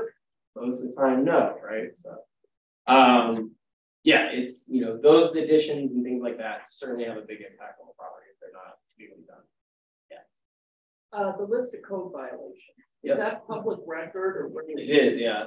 Pretty sure it's public record, but it's another, you know, almost into the tools and systems and stuff that we'll kind of get into about how to pull them. I'm pretty sure you can um, look them up online, because you can look up any permit, like you can look up my projects and one, see if I had a permit or two, see if there's a violation. So if you're looking at, and that's, I, I don't know how to navigate Yolo system in Woodland. I am very familiar with the city and the county, right? And that's the other risk when you're going outside your comfort zone, right? Right. Is, you know, how do I look up this information? There are Or staff it. smaller, That's Database. yeah, yeah, everything's online, whereas some of the other ones you gotta call and are you talking to somebody, do they know what they're doing, are they new? Everyone's shuffling and hiring in the world right now. Um, but yeah, there's definitely a list for it, but I'm not familiar with the violation. Is there like timeframes where once you purchase a property, you have this time to like fix it? Is there like late fees, penalties? Yeah, so for those of you that follow like our, some of our Instagram stuff. Um, I was working with a seller that took back a horrible story. This, this investor, a flipper bought a house, he didn't have insurance. Property burned down by squatters. It was like three years ago. I knew the hard money lender. He took the house back. Poor guy got stuck with his ruins of a property rumbles, right? And of course, yeah, Del Paso Heights, it's kind of a cool property, it's three, but anyways, the, the code violations. and Code enforcers came and, you know, had to fence the property, they had to, uh, monitor it, right? And this was going on for two years. As one, he had to go through the foreclosure process to get the house back with all the new hoops you gotta jump through to actually take the paper and the deed back in his name. But also, um, you know, he got tacked on with, with years of fines for one, if they have to clean up the property, this is a, you know, an outlier situation, right? A big snare, but, um, in theory, I think they want you to clean it up in like six months. If you show them progress or you're working on it or you're communicating with them, they'll help you with some of the fees and stuff like that to an extent. If you pull a permit, that is when they will say, okay, someone's, you know, rocking and rolling on this project and, you know, it could be something minor, it could be something big that they'll give you some time on it. But in general, when you pull a permit, believe it's six months, maybe nine months, that you have to complete your work that you're being permitted. The violations, I'm not hundred percent certain like what they kind of reference on how much time you have. Um, but it is, sometimes I think it's like, well, the, the, uh, the apartment that I did, I think it's like ninety days. So in theory, it's kind of a good amount of time, but in theory, sometimes it's like, you know, you're, figuring scheduled out with the tenants and like that property, it was a hassle because there were like six properties, six tenants that you needed to negotiate with, some aren't paying. You know, there's a lot of ins and outs. Did that answer your question? Yeah. So are you pulling the permits on all these little things like light fixtures and washing? Yeah, and it's just a, you know, full permit, right? Like properties, I'll, it's, I don't know, five hundred and fifty dollars for a remodel permit on a Oh, property. okay, so. So you pull one permit, you say, I'm updating light fixtures and outlets and general remodel and uh, plumbing fixtures and maybe I'm doing a roof, things like that. You want to try to bulk it on one. The tough thing is when you're doing big projects, and you're moving walls, right? You're moving walls, you're you're you're moving in with design and review, and you're moving in with the planning department. So once again, we're talking about time. Um, you move that wall and and code enforcement goes in there and, and they don't see that you pulled a permit on it, like they're gonna kick you through the system of violations and then they're gonna want all your plans and stuff. And the process for that, one, to get a, I've, I, we've kind of figured out how to draw our own plans, but you still gotta get it stamped by an engineer. Even if we do it, like maybe three to four weeks between drawing it to the engineer. When you hire a, designer, I don't know, they're like six weeks for plans. And then you got the engineer, like maybe another month, like I don't know, maybe a two month process. And then you got to submit to the city or the county, and that could be two months, maybe a month, right? So you're talking about a three month process. So what I've done is I pulled the permit, say I'm doing a general remodel permit, right? Let's get going, start down, things like that. Then I will either alter my permit or pull a second permit to do moving a wall or something like that, right? Because I don't want to wait three months to start swinging a hammer and start demo, which technically you're supposed to do. Um, so yeah, I, I do pull permits on pretty much everything. Pretty much. So when you pull these permits, they send somebody out and and start the job and then you you get to come out at the end of the job or how does, how does it work? Yeah, they do a, well, it's called a rough inspection and then final. In theory, it's not like that big of a deal, right? You, um, you know, for the rough means you demo the bathroom, right? They want to look at your plumbing before you put the walls back up, right? Um, if you're pulling down to the studs and you got wiring, kind of like this house up here, um, they want to see what's called striker plates over your wiring. So, you know, if you're doing framing and you're putting nails in, they want a striker plate between that uh, stud and the wiring just to make sure that, you know, you don't have a loose or open wire behind the wall. You know, it, in essence, it obviously is safe, precautionary, and it's good because if you're going to resell a property, there's some liability there too, right? Um, so they want to look at things before the walls are closed up and then after, right? One thing that kind of getting me with some of the, the permits and can be challenging is um, you're doing, you know, you got to put GFCI outlets in, you're putting new appliances. They want all your appliances on dedicated circuits, which means your stove's got to go to the panel, your microwave's got to go to the panel, your fridge has got to go to the panel. Well, often these homes don't have the capacity to have that many breakers in your panel. You don't get technical with like electrical stuff, but that's been definitely a hurdle in the kitchens. It's like, man, how do we make room for all this? And then it's like, am I going gas or electric on the stove? so, you know, and, and these days, um, you know, catch 22 there. It's more expensive to run gas. Everybody likes gas. SMUD, California is going against gas. But you got a couple different things working against you. But, you know, all these things, like, as I was like, I want a gas stove in my house. Well, now I don't want to go through the some of the hoops to jump through to, you know, run a gas line. I know we're talking about loading the panel up, but um, yeah, there's just some things to be mindful of when you're remodeling a kitchen and how many amps your your panel has. And generally, a panel has like 100 amps. Some have 120. Obviously, old ones like 60. You know, it's best to have like a 200 amp panel. And um, yeah, Two hundred, switching from a one hundred to two hundred amp panel is expensive. can be. I mean, it's uh, probably get it done for like $2,500. Yeah, I mean, that's still, It's a lot. Yeah, it's not cheap for sure, but it's but then again, uh, if you have a bunch of stuff plugged in, uh, you know, uh, put a lot of breakers in there. Exactly. Yeah, that's what kind of overload the you know, appliances. All right, so we're on to finding deals on MLS. So MLS deals, MLS deals, uh, I think it's a, it's a great way, it's not as heavily done now, I don't think that just not as much inventory, but there's definitely deals to be had out there, right? One of those ways is putting the description when you're searching, fixtures, handyman special, TLC, creative financing, there's keywords that you can put in there, and you've got to kind of play around with it. Bobby and I play around with it when we're doing it um, to find those listings, and you'll see them come up that are in not the best shape, right? The thing with those is, at least what I'm seeing, the prices, they're not marking them down where they should be necessarily. So you've got to write a bunch of offers. It's a numbers game, right? So create a template, get something going when you're doing that, but you want to make it to where it's repetitive and you're writing a lot of offers. I think last week we wrote to 18, 18 total. So it's something that you, and like Bobby was saying too, all of these methods work. It's just where do you want to spend your time doing it? What do you want to dive into, right? If you're like us, we're kind of diving into all of it, but you also have a little more manpower, right, than just an individual. Um, in those searches, you know, look for the ones that are back on market, right? Look for the price drops.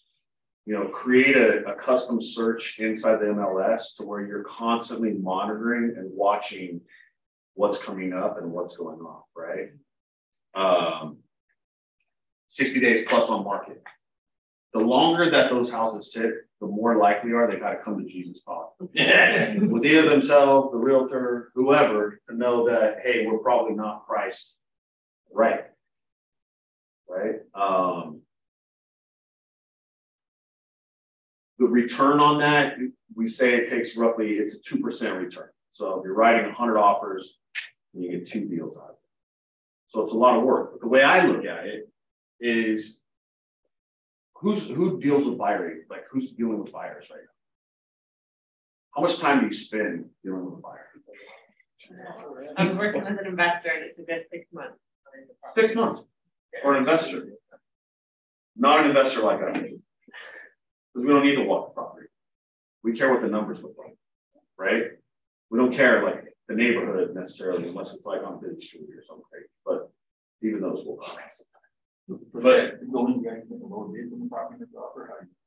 yeah, we're doing it strictly on map. So the same calculations of the level of fixer it is, what is it comping out at? What's the ARV on that? And then adjusting for the declining market. And then make it, you know, 50, 55, 65, 70%, depending on the, the type of fixture that it is. You can typically tell by looking at the pictures right? We burn what you do like sixty. that's why you want that, that easy formula to look at it. Because if you're submitting 100 offers, 18 in a week, like, okay, 60%, 70%, 65. And I've got it that, that I'll email you guys, it's just an offer sheet. And you just plug in what the listing price is, what the ARV is, and it will tell you what the right? You want to make it to where it's a fast process. That's what we've kind of come up with making these three different levels because it's too hard to go into each one and dive into it. You kind of want to get it in contract, then dive into it. That makes sense. But my point is dealing with buyers, like how much time driving around, finding a house, getting the client. Like how do you get the how do you get the client? You're doing open houses, you're putting signs out, you're sitting in an open house for three hours, right? Finding deals on the MLS and doing it this way helps you as a realtor also work with somebody like us or ourselves, right? Or maybe you want a JV with us or somebody else where you partner on the deal, right? It's the opportunity to earn multiple commissions. To me, it's like, and I talked to Bobby about this, it's like a no brainer. Like if I was just starting real estate or just doing real estate in general, I would, I don't even know if I deal with regular people. I know it sounds bad. You guys get that big house, wherever that Mermaid house, I like that. Yeah, that was on MLS, that was kind of, you know, it's random things sometimes how I have purchased deals in MLS the past few years. It was only recently where I'm like, all right, maybe we should put a whole strategy game plan like this. Let's attack this like a bit, you know, hundred offers, maybe two percent return. We've heard from others in the industry like that works. That particular house, was in my neighborhood. I kind of talked to her at the beginning. How did you talk to her? Um, I had my, I had my six month old on my chest. so he helped. He was sweet talking. He was doing the ooh guy. And that kind of helped me build rapport. So you gotta bring a baby. Okay, bring a baby. That's step one. Step two. Um, but really was staying on. The house went penning, and I think the point of this is like, okay, you make that offer, they're not going to accept it right away. They're going to go with someone else. It, you know, chances are it may not work out, and, and then that scenario, like I swooped in. It was like they didn't want to go back on the What market happened with because the first so offer? What'd she tell you? No. Yeah, she said no. Submitted the offer. She said no. You know, can you come up to this price? I said no. I said okay, we're gonna go with this other buyer. I said okay, cool. And then what did you do after that? Just followed up with her, checked in, and then a week later, she's like, "All right, we'll take your. Are you good to go on your original offer?" And she had a report. Oh, she's like, "No, I'm gonna. I want ten thousand less." So I got a pretty good deal on it and closed. And The seller was out of state. They don't want to deal with it. Right? Yeah. So on MLS, how much under this? That one, they started at eight twenty-five. They bought it for five. Oh Although that, you know, an outlier, you know, that was, I don't know if you saw, it was like an artistic house and, you know, it was in a great neighborhood, and really cool features, but, you know, some people, it's hard to see past a design or a funky floor plan or whatever it is, right? So, and I think also like that one got somewhat lucky that it was, um, you know, it was insane, right? They had on all the news channels, so they did an open house. There's 300 people going through. Like, do they want to go back on the market and deal with that, or just deal with somebody? And I and I sent them my resume. I'm like, hey man, like I just did a East Sac house and this old Woodland house. Like I did, I did an addition on on my house in the attic. So I'm like, I'm used to old houses. I can take on big projects. Like I have this track record. Like it kind of helps have that stamp of approval. Like, hey, you know, I'm going to perform. Let's let's end this thing, wrap it up for you know, get some closure for the for the family. That was a probate thing. And I think that's like that situation, you know, it's a huge success story in that. And it's, you know, that's a drastic reduction from what they listed regularly, but there's deals like that all over the place. And it's just, how do you just, how do you put the systems in place to follow up with them? Make the call, build the report, right? Building the report, I think is like the most important thing. Like, don't send them a text message. Pick up the damn phone, call them. Like, talk to them like you're talking to one of your friends, right? Don't just go straight into price. Like, if you guys take two hundred thousand dollars less, I'm an investor, I wanna flip a house. You're gonna be like, go kick rocks. And, and I think that's the other thing, like providing an offer in hand, right? Compared to like a verbal or a text. And I think that was an aha that we had. Like there are tons of deals that they're not selling. They raise their hand, they put it on MLS, but they're not getting that uh, price that they're asking, right? They're coming down, coming down, coming down. And I start seeing friends or other flippers that I know. I'm like, holy crap, they got it for that. Like, and I we didn't follow up. That's why we're doing The follow, the follow-up, I think, is key, and that's a, that deal is a perfect example of following up, building rapport, using a baby to your advantage. Yeah, bring the baby. Hey, really. He's older now. He might not be as cute.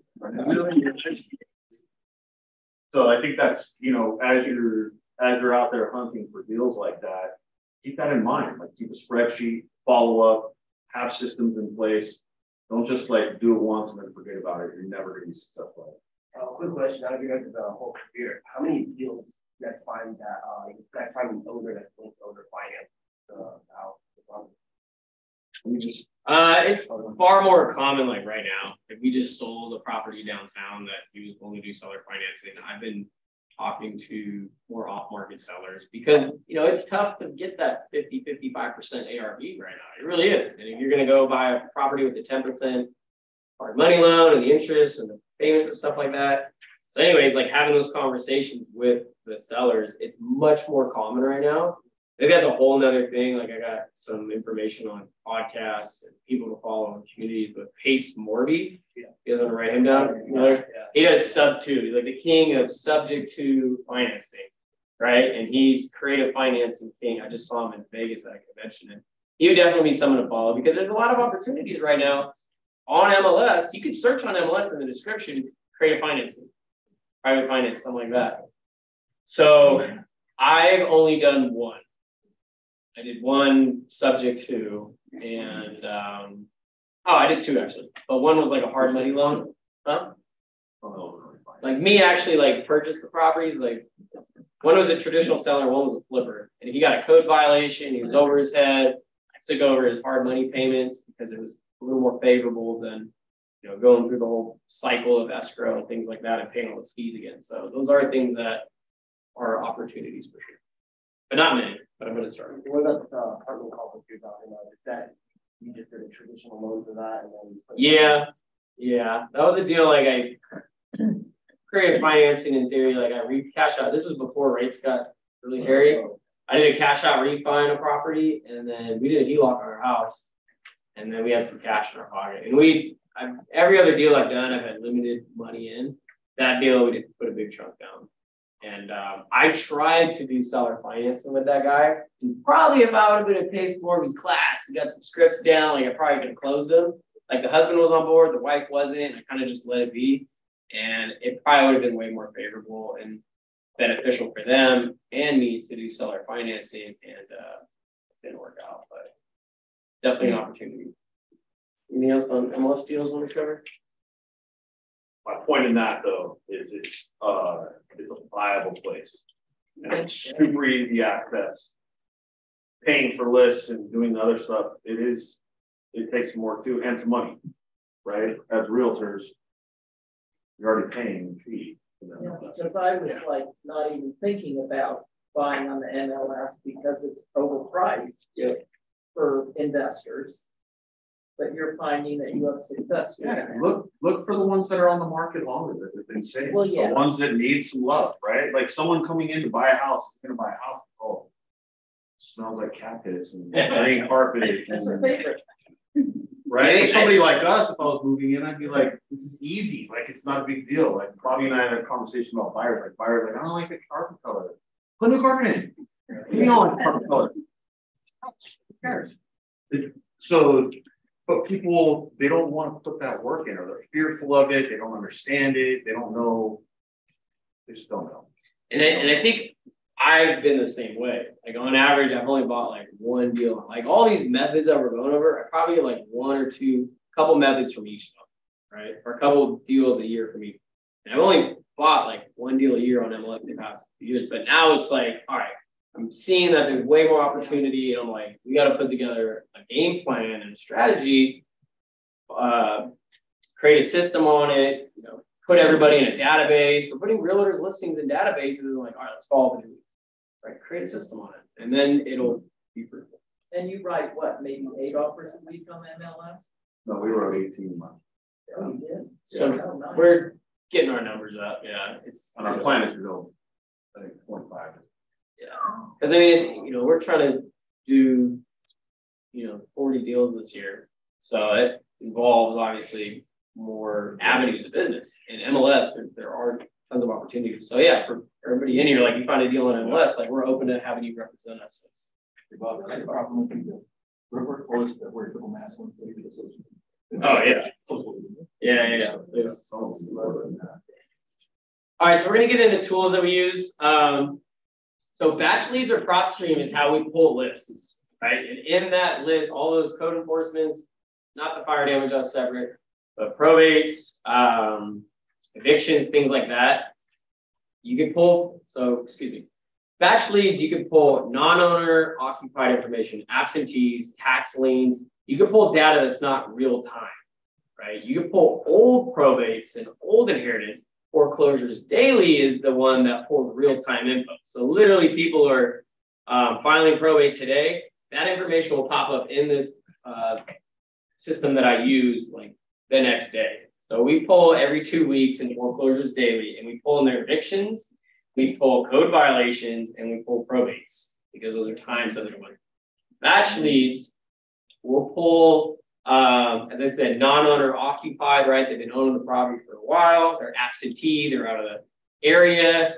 Um, maybe they have a tax lien, maybe they got a notice of default, we'll pull all that list together and we'll stack that list. So you can cross-reference those various indicators, which will give them a higher probability of selling, right? Everything kind of increases the chance of them wanting to sell. BatchLeads, I like the system. You can skip trace it in there. It's about 10 cents, maybe a lead. Do you pull a list of 1,000 people? You'll get 100 um, hits most likely. Not 100, sorry. It'll cost you. It'll cost you $100. Yeah. Um, and then at that point, do you want to just mail them? Do you want to call them, text them, whatever you want to do there? I'll use Mojo Dialer for cold calling. I will say to to rewind, like don't just do one.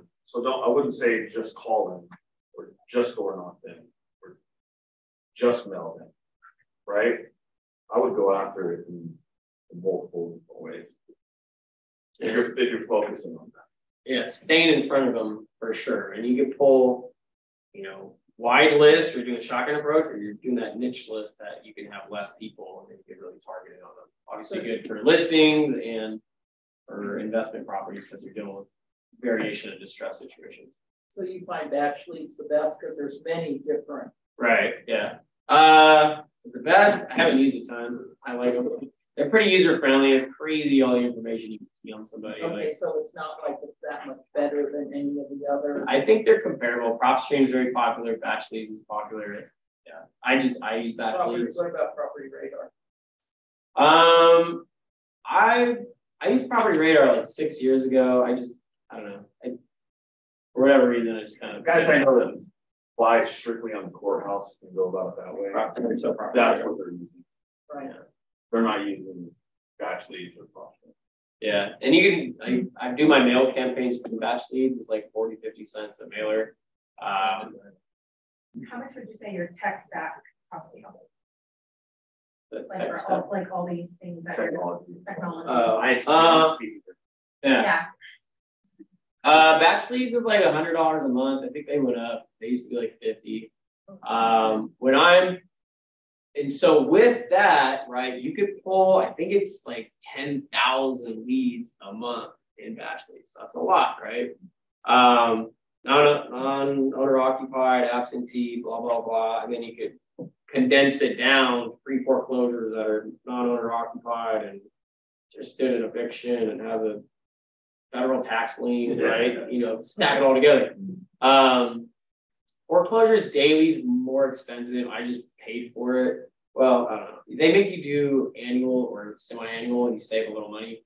It's probably about 120 a month, right? And I know there's different sources. Like I used to get probate information specifically from a probate, you know, website, and it was $300, and they gave you you know, all the leads, skip trace. I've been pulling it from foreclosures daily, and then I have the evictions, the probates, the inheritance, all this stuff, and then I'll skip trace it, right? And what I do like about that, right, is I'm seeing attorneys, right? I'm like, I have a list of all the attorneys from the past like 12 months, and they're on a mail campaign. Like I used to call them a lot, but um, you you could see the ones that are doing more deals, right? Like, oh, this dude's doing 30 probates in a year. Obviously, that's someone I want to try to network with. Yeah, so that you can identify like patterns, right? Same with evictions or whatever.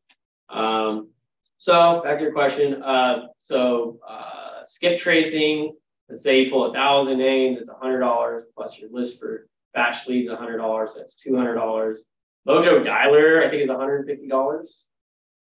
Um, who here wants to cold call? Super popular and fun. uh, if you do cold calling, you definitely want to do a single dialer instead of three. There are like a lot of TCPA, which is spamming people that used to be able to like go gangbusters and three five dialers at a time and you know call all these people and now they're cutting down on the robo dialing. Um, so you gotta do one at a time is would be my recommendation. Does that answer your question? Any more Yeah. clarity on that? I mean, I roughly spend about fifteen hundred bucks on those different campaigns, not including mail. PropStream, I I don't think know. it's close to the same price. Yeah, I think PropStream's all about the same. I Um, go look at both. DealMachine's a cool um app. So if anybody's doing driving for dollars, once again, it's kind of that sniper approach versus shotgun, where you're driving in the area and you're you're working on a project and know South Sac Airport area or whatever, and you're seeing houses that are distressed. Like, oh shoot, I went to go look at a property on Friday. There's like three houses, tarps, and uh, you know, you see the red tag of the code violation. You see this and that. Like, oh man, like, you know, writing down the address, putting them in a database and systematically following up with them one way or another, right? Doesn't mean they're gonna sell today, but it's six, 12 months, three months, whatever it is. Um, but DealMachine allows you to take a picture, loads all the information in the app, and you can right there skip trace it for like five or 10 cents, 10 cents maybe. And then you see their information, you can text them right there, you can call them right there, you can mail them. Boom, I just rolled by his house and I could mail him, text him and call him right there as Chad was saying, do all three. And that's that sniper approach versus the shotgun approach. And I think that goes back to like the beginning, where we were talking about when you're aware of something. Like, as you drive around now, pay attention, they're everywhere.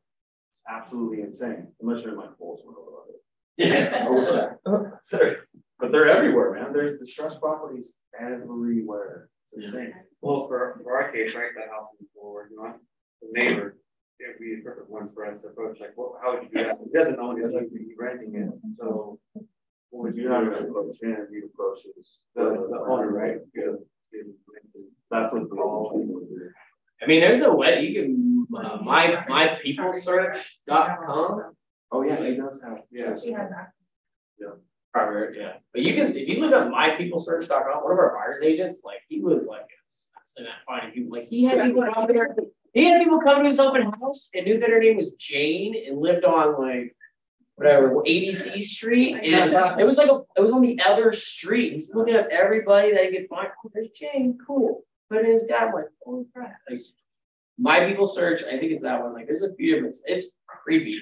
Stuff you can kind of find on other people. Like, I block my information. Um, but yeah, you can look up a lot of stuff on there. What's the thing, I don't know, you guys should take a picture, same thing, contact for the property profile. You put the property, take a picture of it, pull it down. Title company? Yeah, they like that for the stuff. yeah. Yeah. Title Pro? That's pretty cool, free. So if you got a job, I'm asking about it, take a picture of the property in front of it, that's the geocode, pulls up all the contact, all your property profile stuff right there. That's a free word, so. Dr. Yeah. Yeah, because I think, number, I think, email Excuse me, that. contact, excuse me. I think DealMachine's a hundred bucks, and it's like, you know, one of those things, maybe it's seventy, it's like, maybe you start It's like- adding all these tech packages, obviously you can add up. Um, lastly, investor VAs or cyberbacker, this is a virtual assistant. I have a couple. Um, we got the Mohammeds in Pakistan, and we got a Fanny in the Philippines, and We We got a guy- guy in King. we got a guy in Kenya editing our videos, so Yes. labor's cheap if you can find it. We're on Fiverr or you're talking to one of these companies. Cyberbacker uh, is like an affiliate of Keller Williams or this guy in Utah, a team leader, created this Philippine-based company and they're a virtual assistant. Investor VAs, same thing. Like they can cold call all day for you. They can just build databases. I know a lender that's having them dish out pre-approvals all day. Like not that they're doing credit background checks, but if you got that client that's hitting you up at like seven AM in the morning for your pre-approval, like he's got, he's got VAs like, oh, let me roll that together for you, no problem. Around the clock. So you pay someone six bucks an hour to, you know, pump out some things like that, you know, just, there's a number of things that you could utilize and have cheaper. And that's what ours does, and she puts all the lists together for us, she does a lot of that stuff. Marketing kind of campaign. So this would come into my question, to be organized, that's kind of. Yeah, the VAs for sure. And our thing right now, like we have a, you know, sales team and then oh, BJP, whatever, our, our company. Uh, she kind of splits time between the two. So if we, she would have been full time, it would have been a little better. But she helps with our transaction coordinating. She helps um, keep track of like insurance stuff. She helps somewhat with accounting stuff, like pay, pay some bills online. Um, create lists, follow up. Like we're very now like you know, having a Email systematic approach. Yeah, different campaigns. Um, you know, tracking. It's a huge thing. Anything you want to be successful in life, I think you got to track your numbers. You know, how many people you're talking to, and really more putting emphasis on You know, how many conversations, how many, uh, you know, knowing your KPIs, right? Conversations, appointments, closings, things like that. How many people are gonna talk? And no chance I would be able to track that, but team, kind of team. Any questions on tools that we use? List stacking, kind of went over that. Um, once again, like you can cross stack all of all these various things, a couple more ideas, the Harry properties, water shutoffs, non-owner occupied, and just have a very niche list. Kind of talk about driving for dollars too. Anything you want to add on that?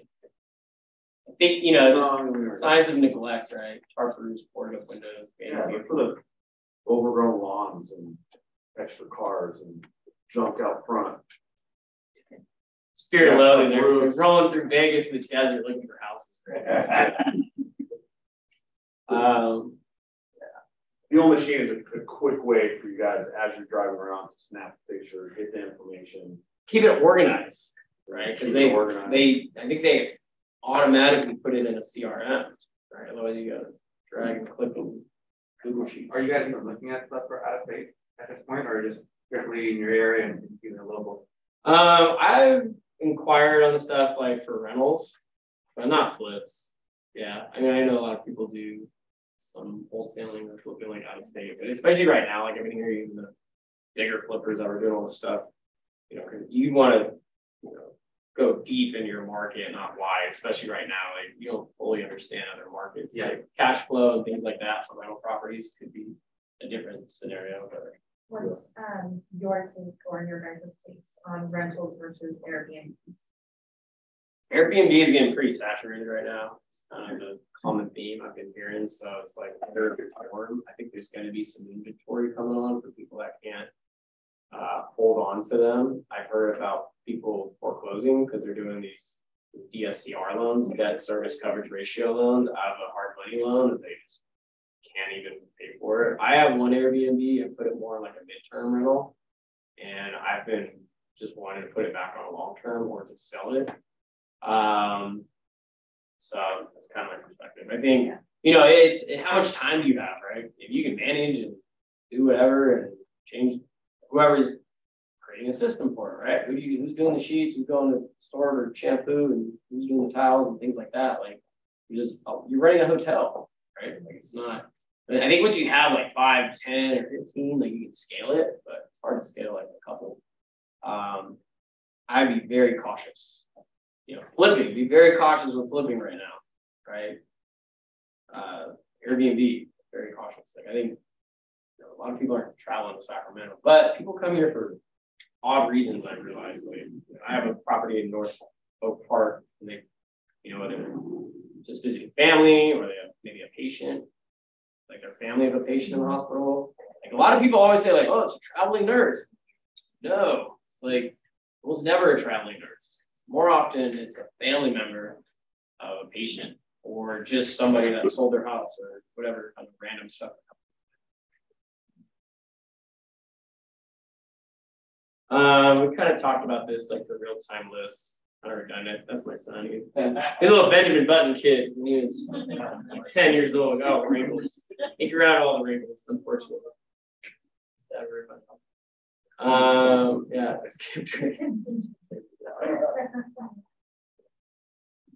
So referral partners, I think that's, you know, that's a huge thing in our business, right? Whether you're a loan officer, a realtor, investor, flipper, it doesn't matter what you're doing.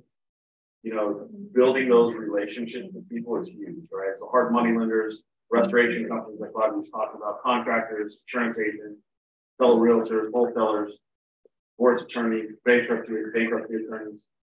You know, um, really connecting with people, rubbing elbows with them, and building relationships with them, right? Thursday, we're holding a an investor meetup, happy hour over at Sheila's across the street on Thursday at 5:30. If you guys want to come. Um, same thing, right? Putting yourself out in front of people, meeting people, meeting wholesalers, realtors, wholesalers. I think we didn't talk much about that, but it's a viable place.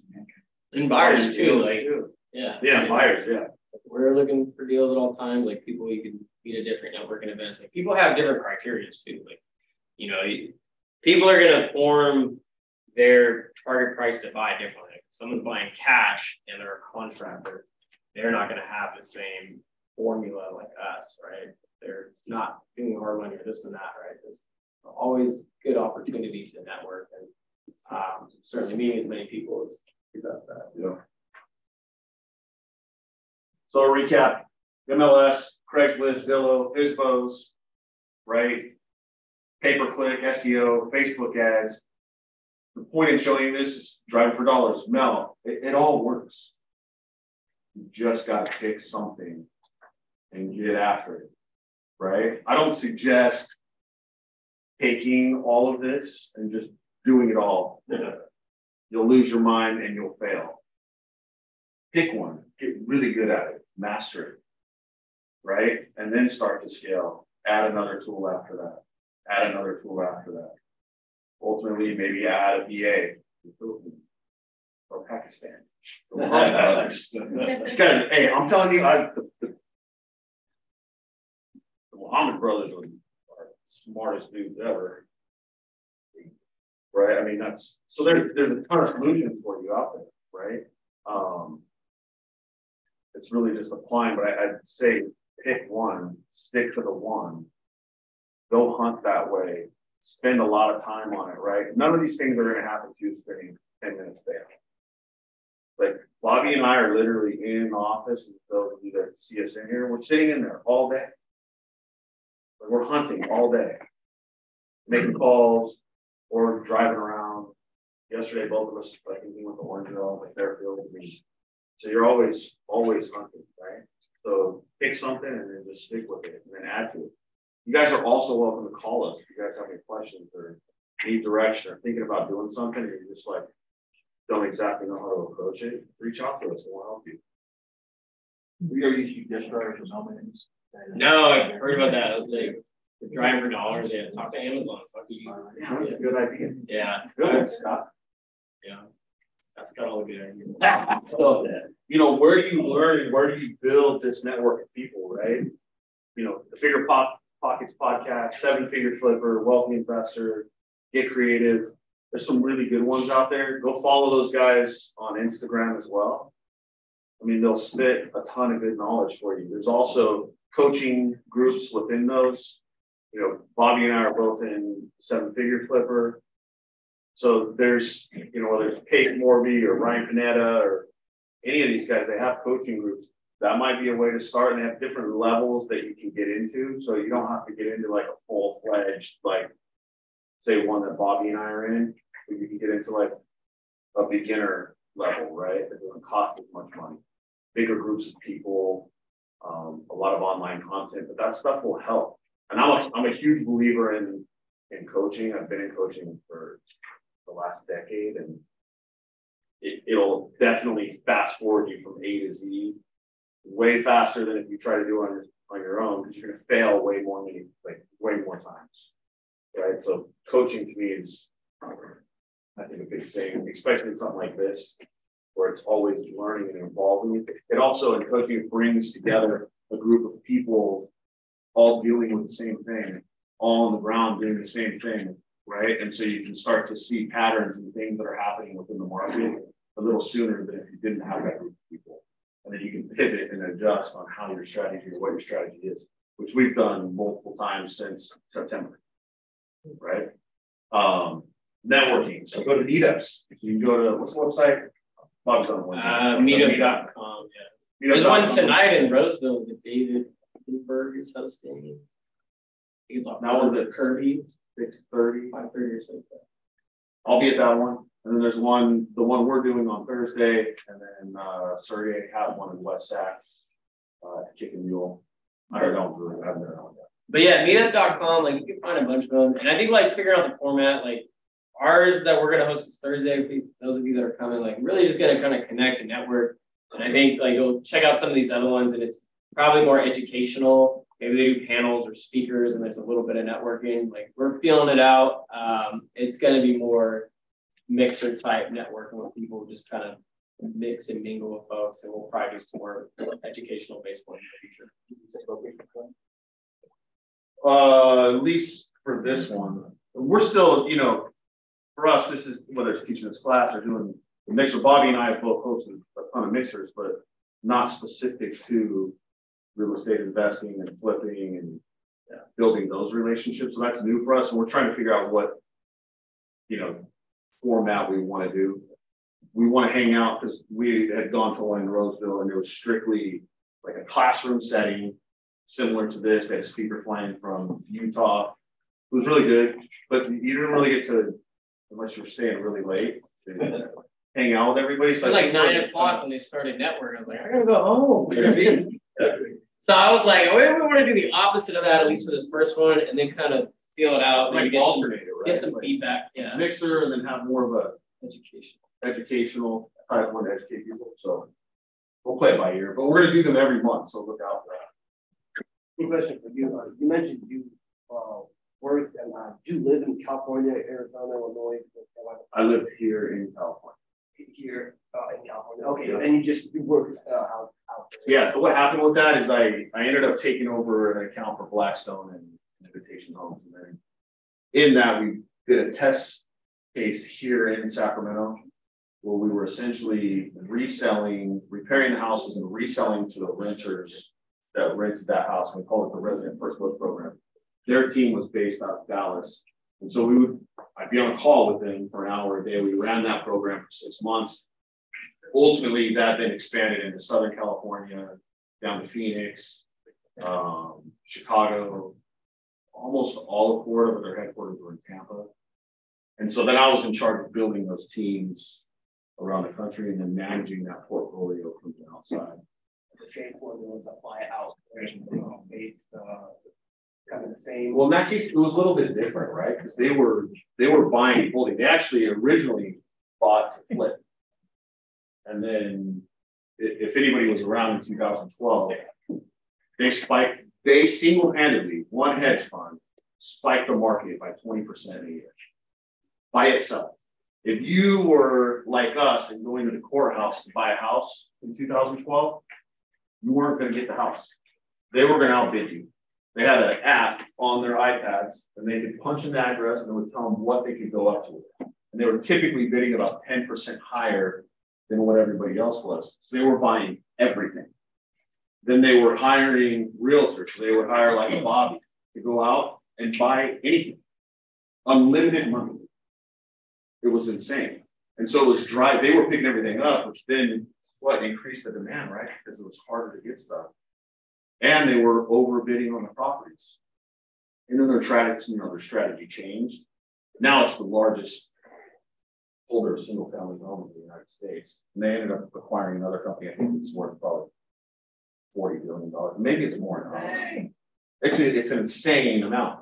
And so that program was designed to obviously sell the house back. And what I didn't know at the time was it was to show how could you could, how you could reduce friction costs. Friction costs in selling a house is like the repairs, realtor fees, costs. How could we go directly to the person living there and then bring those costs down, eliminating things in the middle to reduce friction costs, therefore increasing the value of, the portfolio. So if it was valued at say 15 billion, then we could show that it's worth 17 billion by using this method, it then increased the stock price when they went public, which is what that program essentially was. Where do you picture from?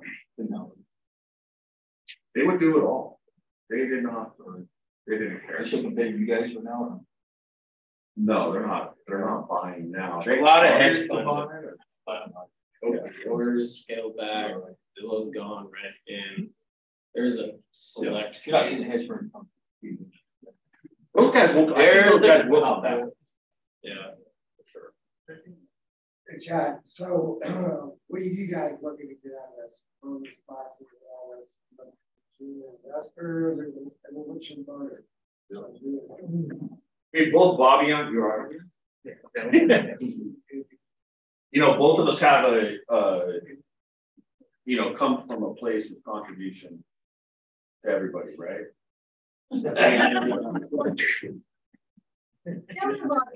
We want to save you. You have any uh, sellers out there that can't sell their property? And how do you do that, right? So how do you build the relationships like we're starting today with some of you guys? Some of you we already have relationships with, right? But we want to get back. We want to teach others by empowering you guys to do more. It helps us to do better too, right? Not all of you guys are going to want to go tackle a fire damaged house. It's too much. Not the experience, right? Like maybe you want to tackle something else, but it's like if you got that deal, bring it to us. We'll tackle it. Bobby does not care. I think just educate people too. Like there's a lot of people that have, you know, interest in this industry and know, there's there's a lot of information out there, you know, love to be like a resource and also just build our own community, build our own network, right? As we're doing like this, this investor meetup, like I feel like I haven't really plugged in for the six years that I've been doing it. I've been stumbling upon the way. And I've had Keller Williams, you know, the license agent here.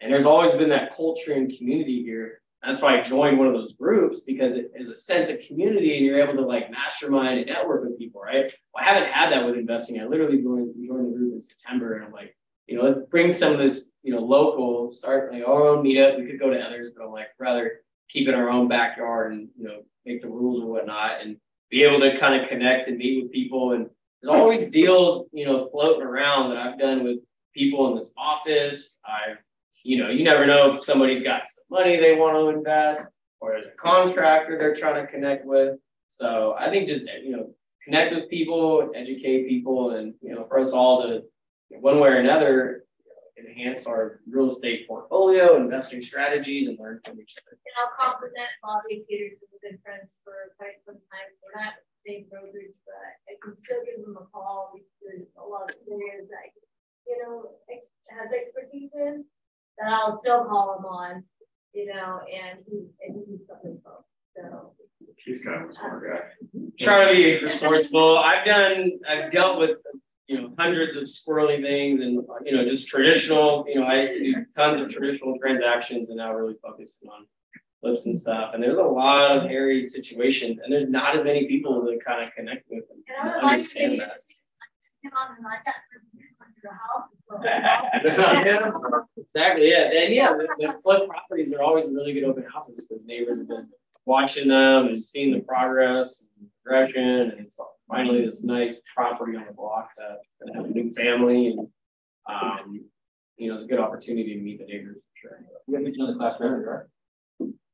This one, I'm we're doing some classes on the BRRRR strategy, and I was trying to like feel, you know, this is new, right? Like I started teaching classes maybe six or nine months ago and kind of feel it out what people, um, what information people want. The other class that I've been teaching, you know, to a lot of uh, realtors is like, like, man, like we want to own property. So in 20, 30, 10 years, five years, whatever, that we have a portfolio that we can lean on for maybe retirement or something. So, you know, I through a lot of these techniques, I've been finding properties and then keeping them as rentals. So we're doing a couple classes on the BRRRR strategy, which is buy, rehab, refinance, rent out, repeat, bunch of R's there. um, and Scott's helped me uh, lining one up uh, downtown MLS, which is in Curtis Park. And then uh, we're doing one at the Natomas office, and then we did one at SAR. So certainly, and we did a class at this office in Oak Grove. So um, yeah, it's good to get feedback like you know, I think some of you may have been to that other class. I don't know if anybody does. Anyways, the BRRRR class versus like this one, hunting for deal, deals, just kind of different, you know, uh, knowledge there and topics to enhance your real estate knowledge. Yeah. I have a question. I have um, for someone who's wanting to invest and he is, is house rich, but cash poor at the moment, but he wants to get started so badly. Yep. What any suggestions as to how to that, You know, that's what I did with, uh, and I, I wish I had done it earlier maybe. Um, I pulled a HELOC out of my primary residence, right? The interest rates aren't great right now because they've gone up. I got it at 4%, it's up to seven, but I borrow money at 10%. I pay people 12% only money, right? So I'm gonna get a HELOC at seven without the points and fees. Like we're hard money lender as well. If you get a loan, it's not cheap. You got to pay like a couple points, you know, just like a commission, right? And then you got to pay your 10% or 11% or like I said, I pay 12% to a private investor that I work with. He's, you know, he's wham bam, easy, done deal, no problem. So, anyways, he could get a HELOC.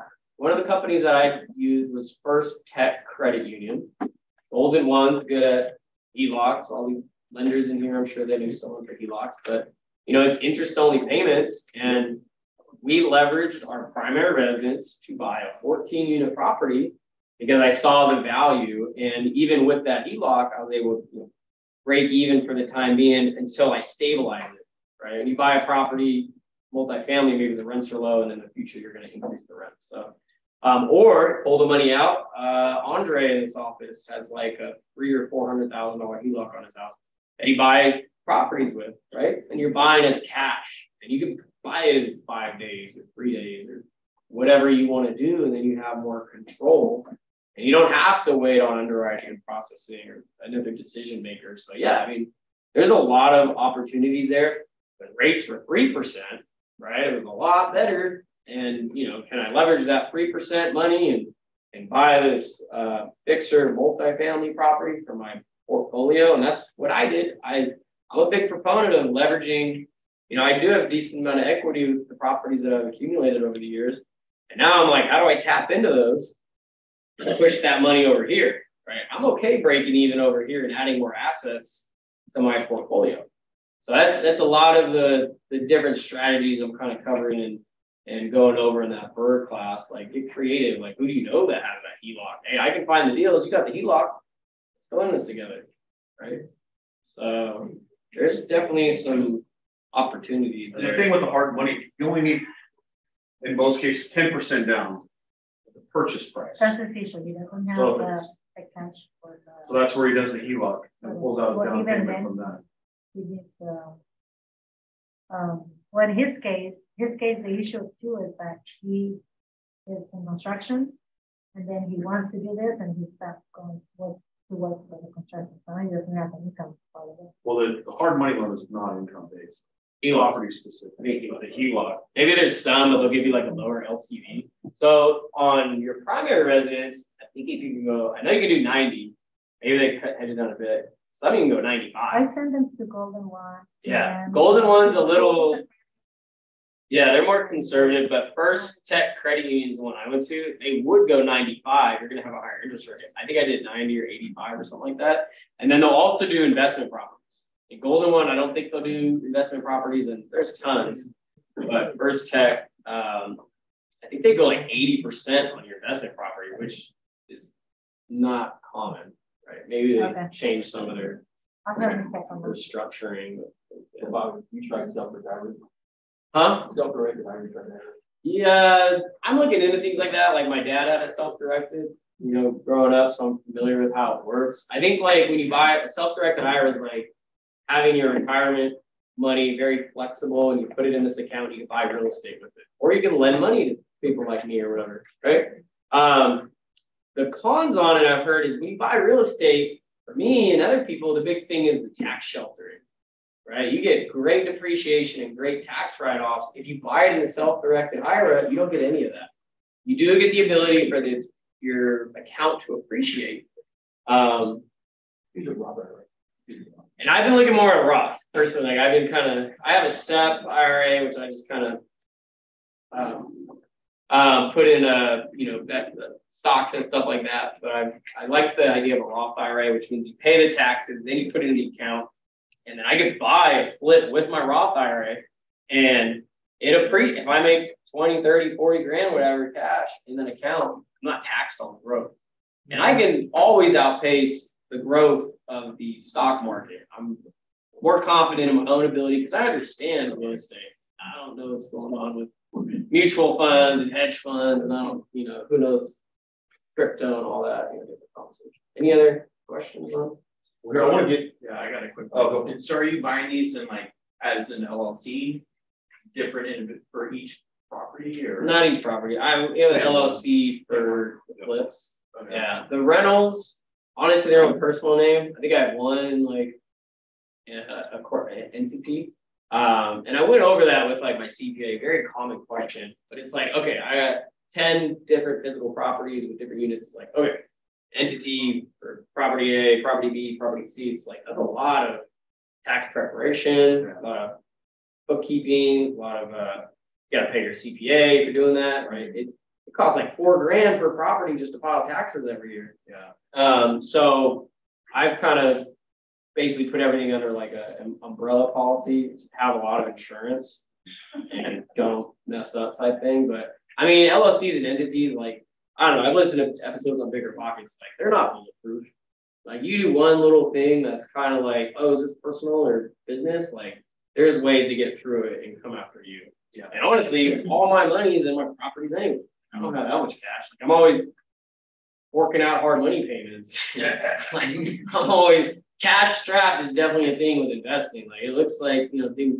I have a good amount of equity in the properties, right? I have good reserves, but it's constantly shuffling out. I'm, I'm always reinvesting, which I like because then I don't do dumb things like buy certain things. and you to do hard money on a flip, you're gonna you would have to have an LLC or an entity. Yeah. You can't do it in your personal name. I think for the flips, it's really important too, like having that's more of a shield, I think, than the rental properties. Like that can be more um, going after something that doesn't have any security type to it. And just so you guys know too, the, the way the hard money works, you put a 10% down on the purchase price, and then 100% of the rehab funds are financed. And then you can take that money out in draws, like a construction loan. So you have, it's going to cost roughly $200 to draw, pull the money out. So don't pull out like five thousand dollar increments. Now you're gonna pull out bigger chunks, but and you don't pay interest on that money until you draw it out. And it's kind of great, like you really only your your loans your closing costs. Your loans are more than the purchase price. You're getting more money than the property that you're buying. Only, but you know, I bought in properties, you know, 200, 250, 300, you're only twenty thousand dollars down. You have the closing costs, but um, you know, you do any type of loan, you put, I mean, investment loan, you're putting 20, 30 percent down, unless you're doing owner occupied, right? So it's um, and that's like the strategy with uh, having the rental properties too, right? If you get a high enough loan amount and you just do rate and term when you do the exit refi, when you're doing the BRRRR strategy, you can do these properties with very little funds kept in the property.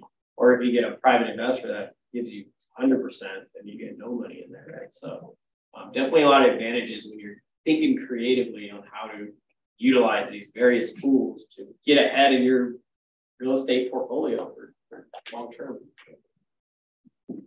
So to answer some of your guys' questions from the beginning, you know, one, if you guys can shoot us an email, just so we have your contact information. I'm going to send some stuff out to you guys, some tools, not just paper format, but um, I'm going to send you guys a copy of the deal analyzer so you guys can take that. I can send you the offer sheet. Um, I can send a bunch of stuff to you guys. Don't go into Google Drive and use it in there. Copy it into your own. You don't screw it up or something else. Just saying, copy it. Just move it into your own folder. It'll literally copy it. It'll take all the calculations with it. Um, if you guys have questions on how to use it, you guys can reach out to me and I'll help you guys out. But somebody talked about estimated cost, right? In that, it'll break down, you know, what is your initial like demo, electrical, plumbing, what are all these costs? You know, bedroom one, two, three, and four, bathroom one, two, three, and four, kitchen. It'll break everything down and then it'll populate into another sheet that they will then calculate your acquisition costs, your holding costs, and your resale costs, and then spit out what your profit is. So knowing what you want to profit, like Bob, you mentioned earlier, you target right at that 50,000 range. Some people might think that's high, but that's like a six month play, right? It's not like, oh, just do that right then. So it's a six month play, but you also got to build in a little bit of buffer, right? Especially in this market. What if it changes? What if you open a wall and you end up spending another 10 grand on something? So you don't want to target, say, 20,000 as your profit. You might fail right? So that deal analyzer I'll send out to you guys. Um, staying organized, that's a constant process. um, we use we use notes on our phone a lot. You guys have most people have Apple. We use shared notes constantly. So projects are in there. There's we use a ton of that. Um, social media posts, we'll write them in there, and then we both have access to them. Uh, and then we use Google, we use Google spreadsheets and Google Drive to manage everything, so everybody has access to all of it. Um, I can send you guys also a, uh, it's basically like a project management form, so scope of work, what you're gonna do, how much it's gonna cost in different stages, makes it a little bit easier to manage it. Uh, financing, where to do financing, kind of talk about that with the hard money, doing it that way. Uh, turn times on the hard money, ten to fourteen days, be faster once you get that pro status. Just because the wins and repeat, your interest rates are also quite a bit lower once you hit that number. Right, and it has to be within a two-year span. So you can't do like five flips your whole life. right, It's got to be five in the last 24 months. And that's a hard line as we've found out helping other people. It's it's a hard line. So they want to see five exits, right? Uh, percentage of return, not necessarily a percentage, it's more of a number. Um, and how we calculate it is, you know, heavy, medium, and light. Just kind of how we go about it, right? And if, if something's a little tighter, profit margin wise, then we'll go in there and kind of fine tune and see really what number can we make work on the deal. And it's it's constantly, I feel like it's it's always evolving. Right? It's um we've sold a house that we've had to do absolutely nothing to. We've had some that we just paint carpet and some that are full to the studs. They're all different. So you've got to look at each deal a little bit different, right? Um, I think So- that's it. So So you don't have an approximate spread you look at across the board just to get an idea? So if you do it by property. I think that formula that we have like seventy percent or sixty percent, that's the spread, really. But I mean, it's like, certainly like if it's a heavy fixer, right, and that's why the ARV is, is bigger, right, fifty percent, like, definitely wanna make more on if you're doing everything and it's gonna take for more time for eight months. If there's a smaller one, like, it, it, does- it does vary, right? Like I probably want to do those burnt down properties and only make forty or fifty, right? That, you have more risk with the longer time. Thanks a bunch, guys. Really appreciate you being here. Uh, yeah. Feedbacks, appreciated too. Like, we'll have some other classes and uh, if you want to follow us on Instagram, it's cool too. We're Chad and I are very competitive, and I want to have more followers than the lady the back.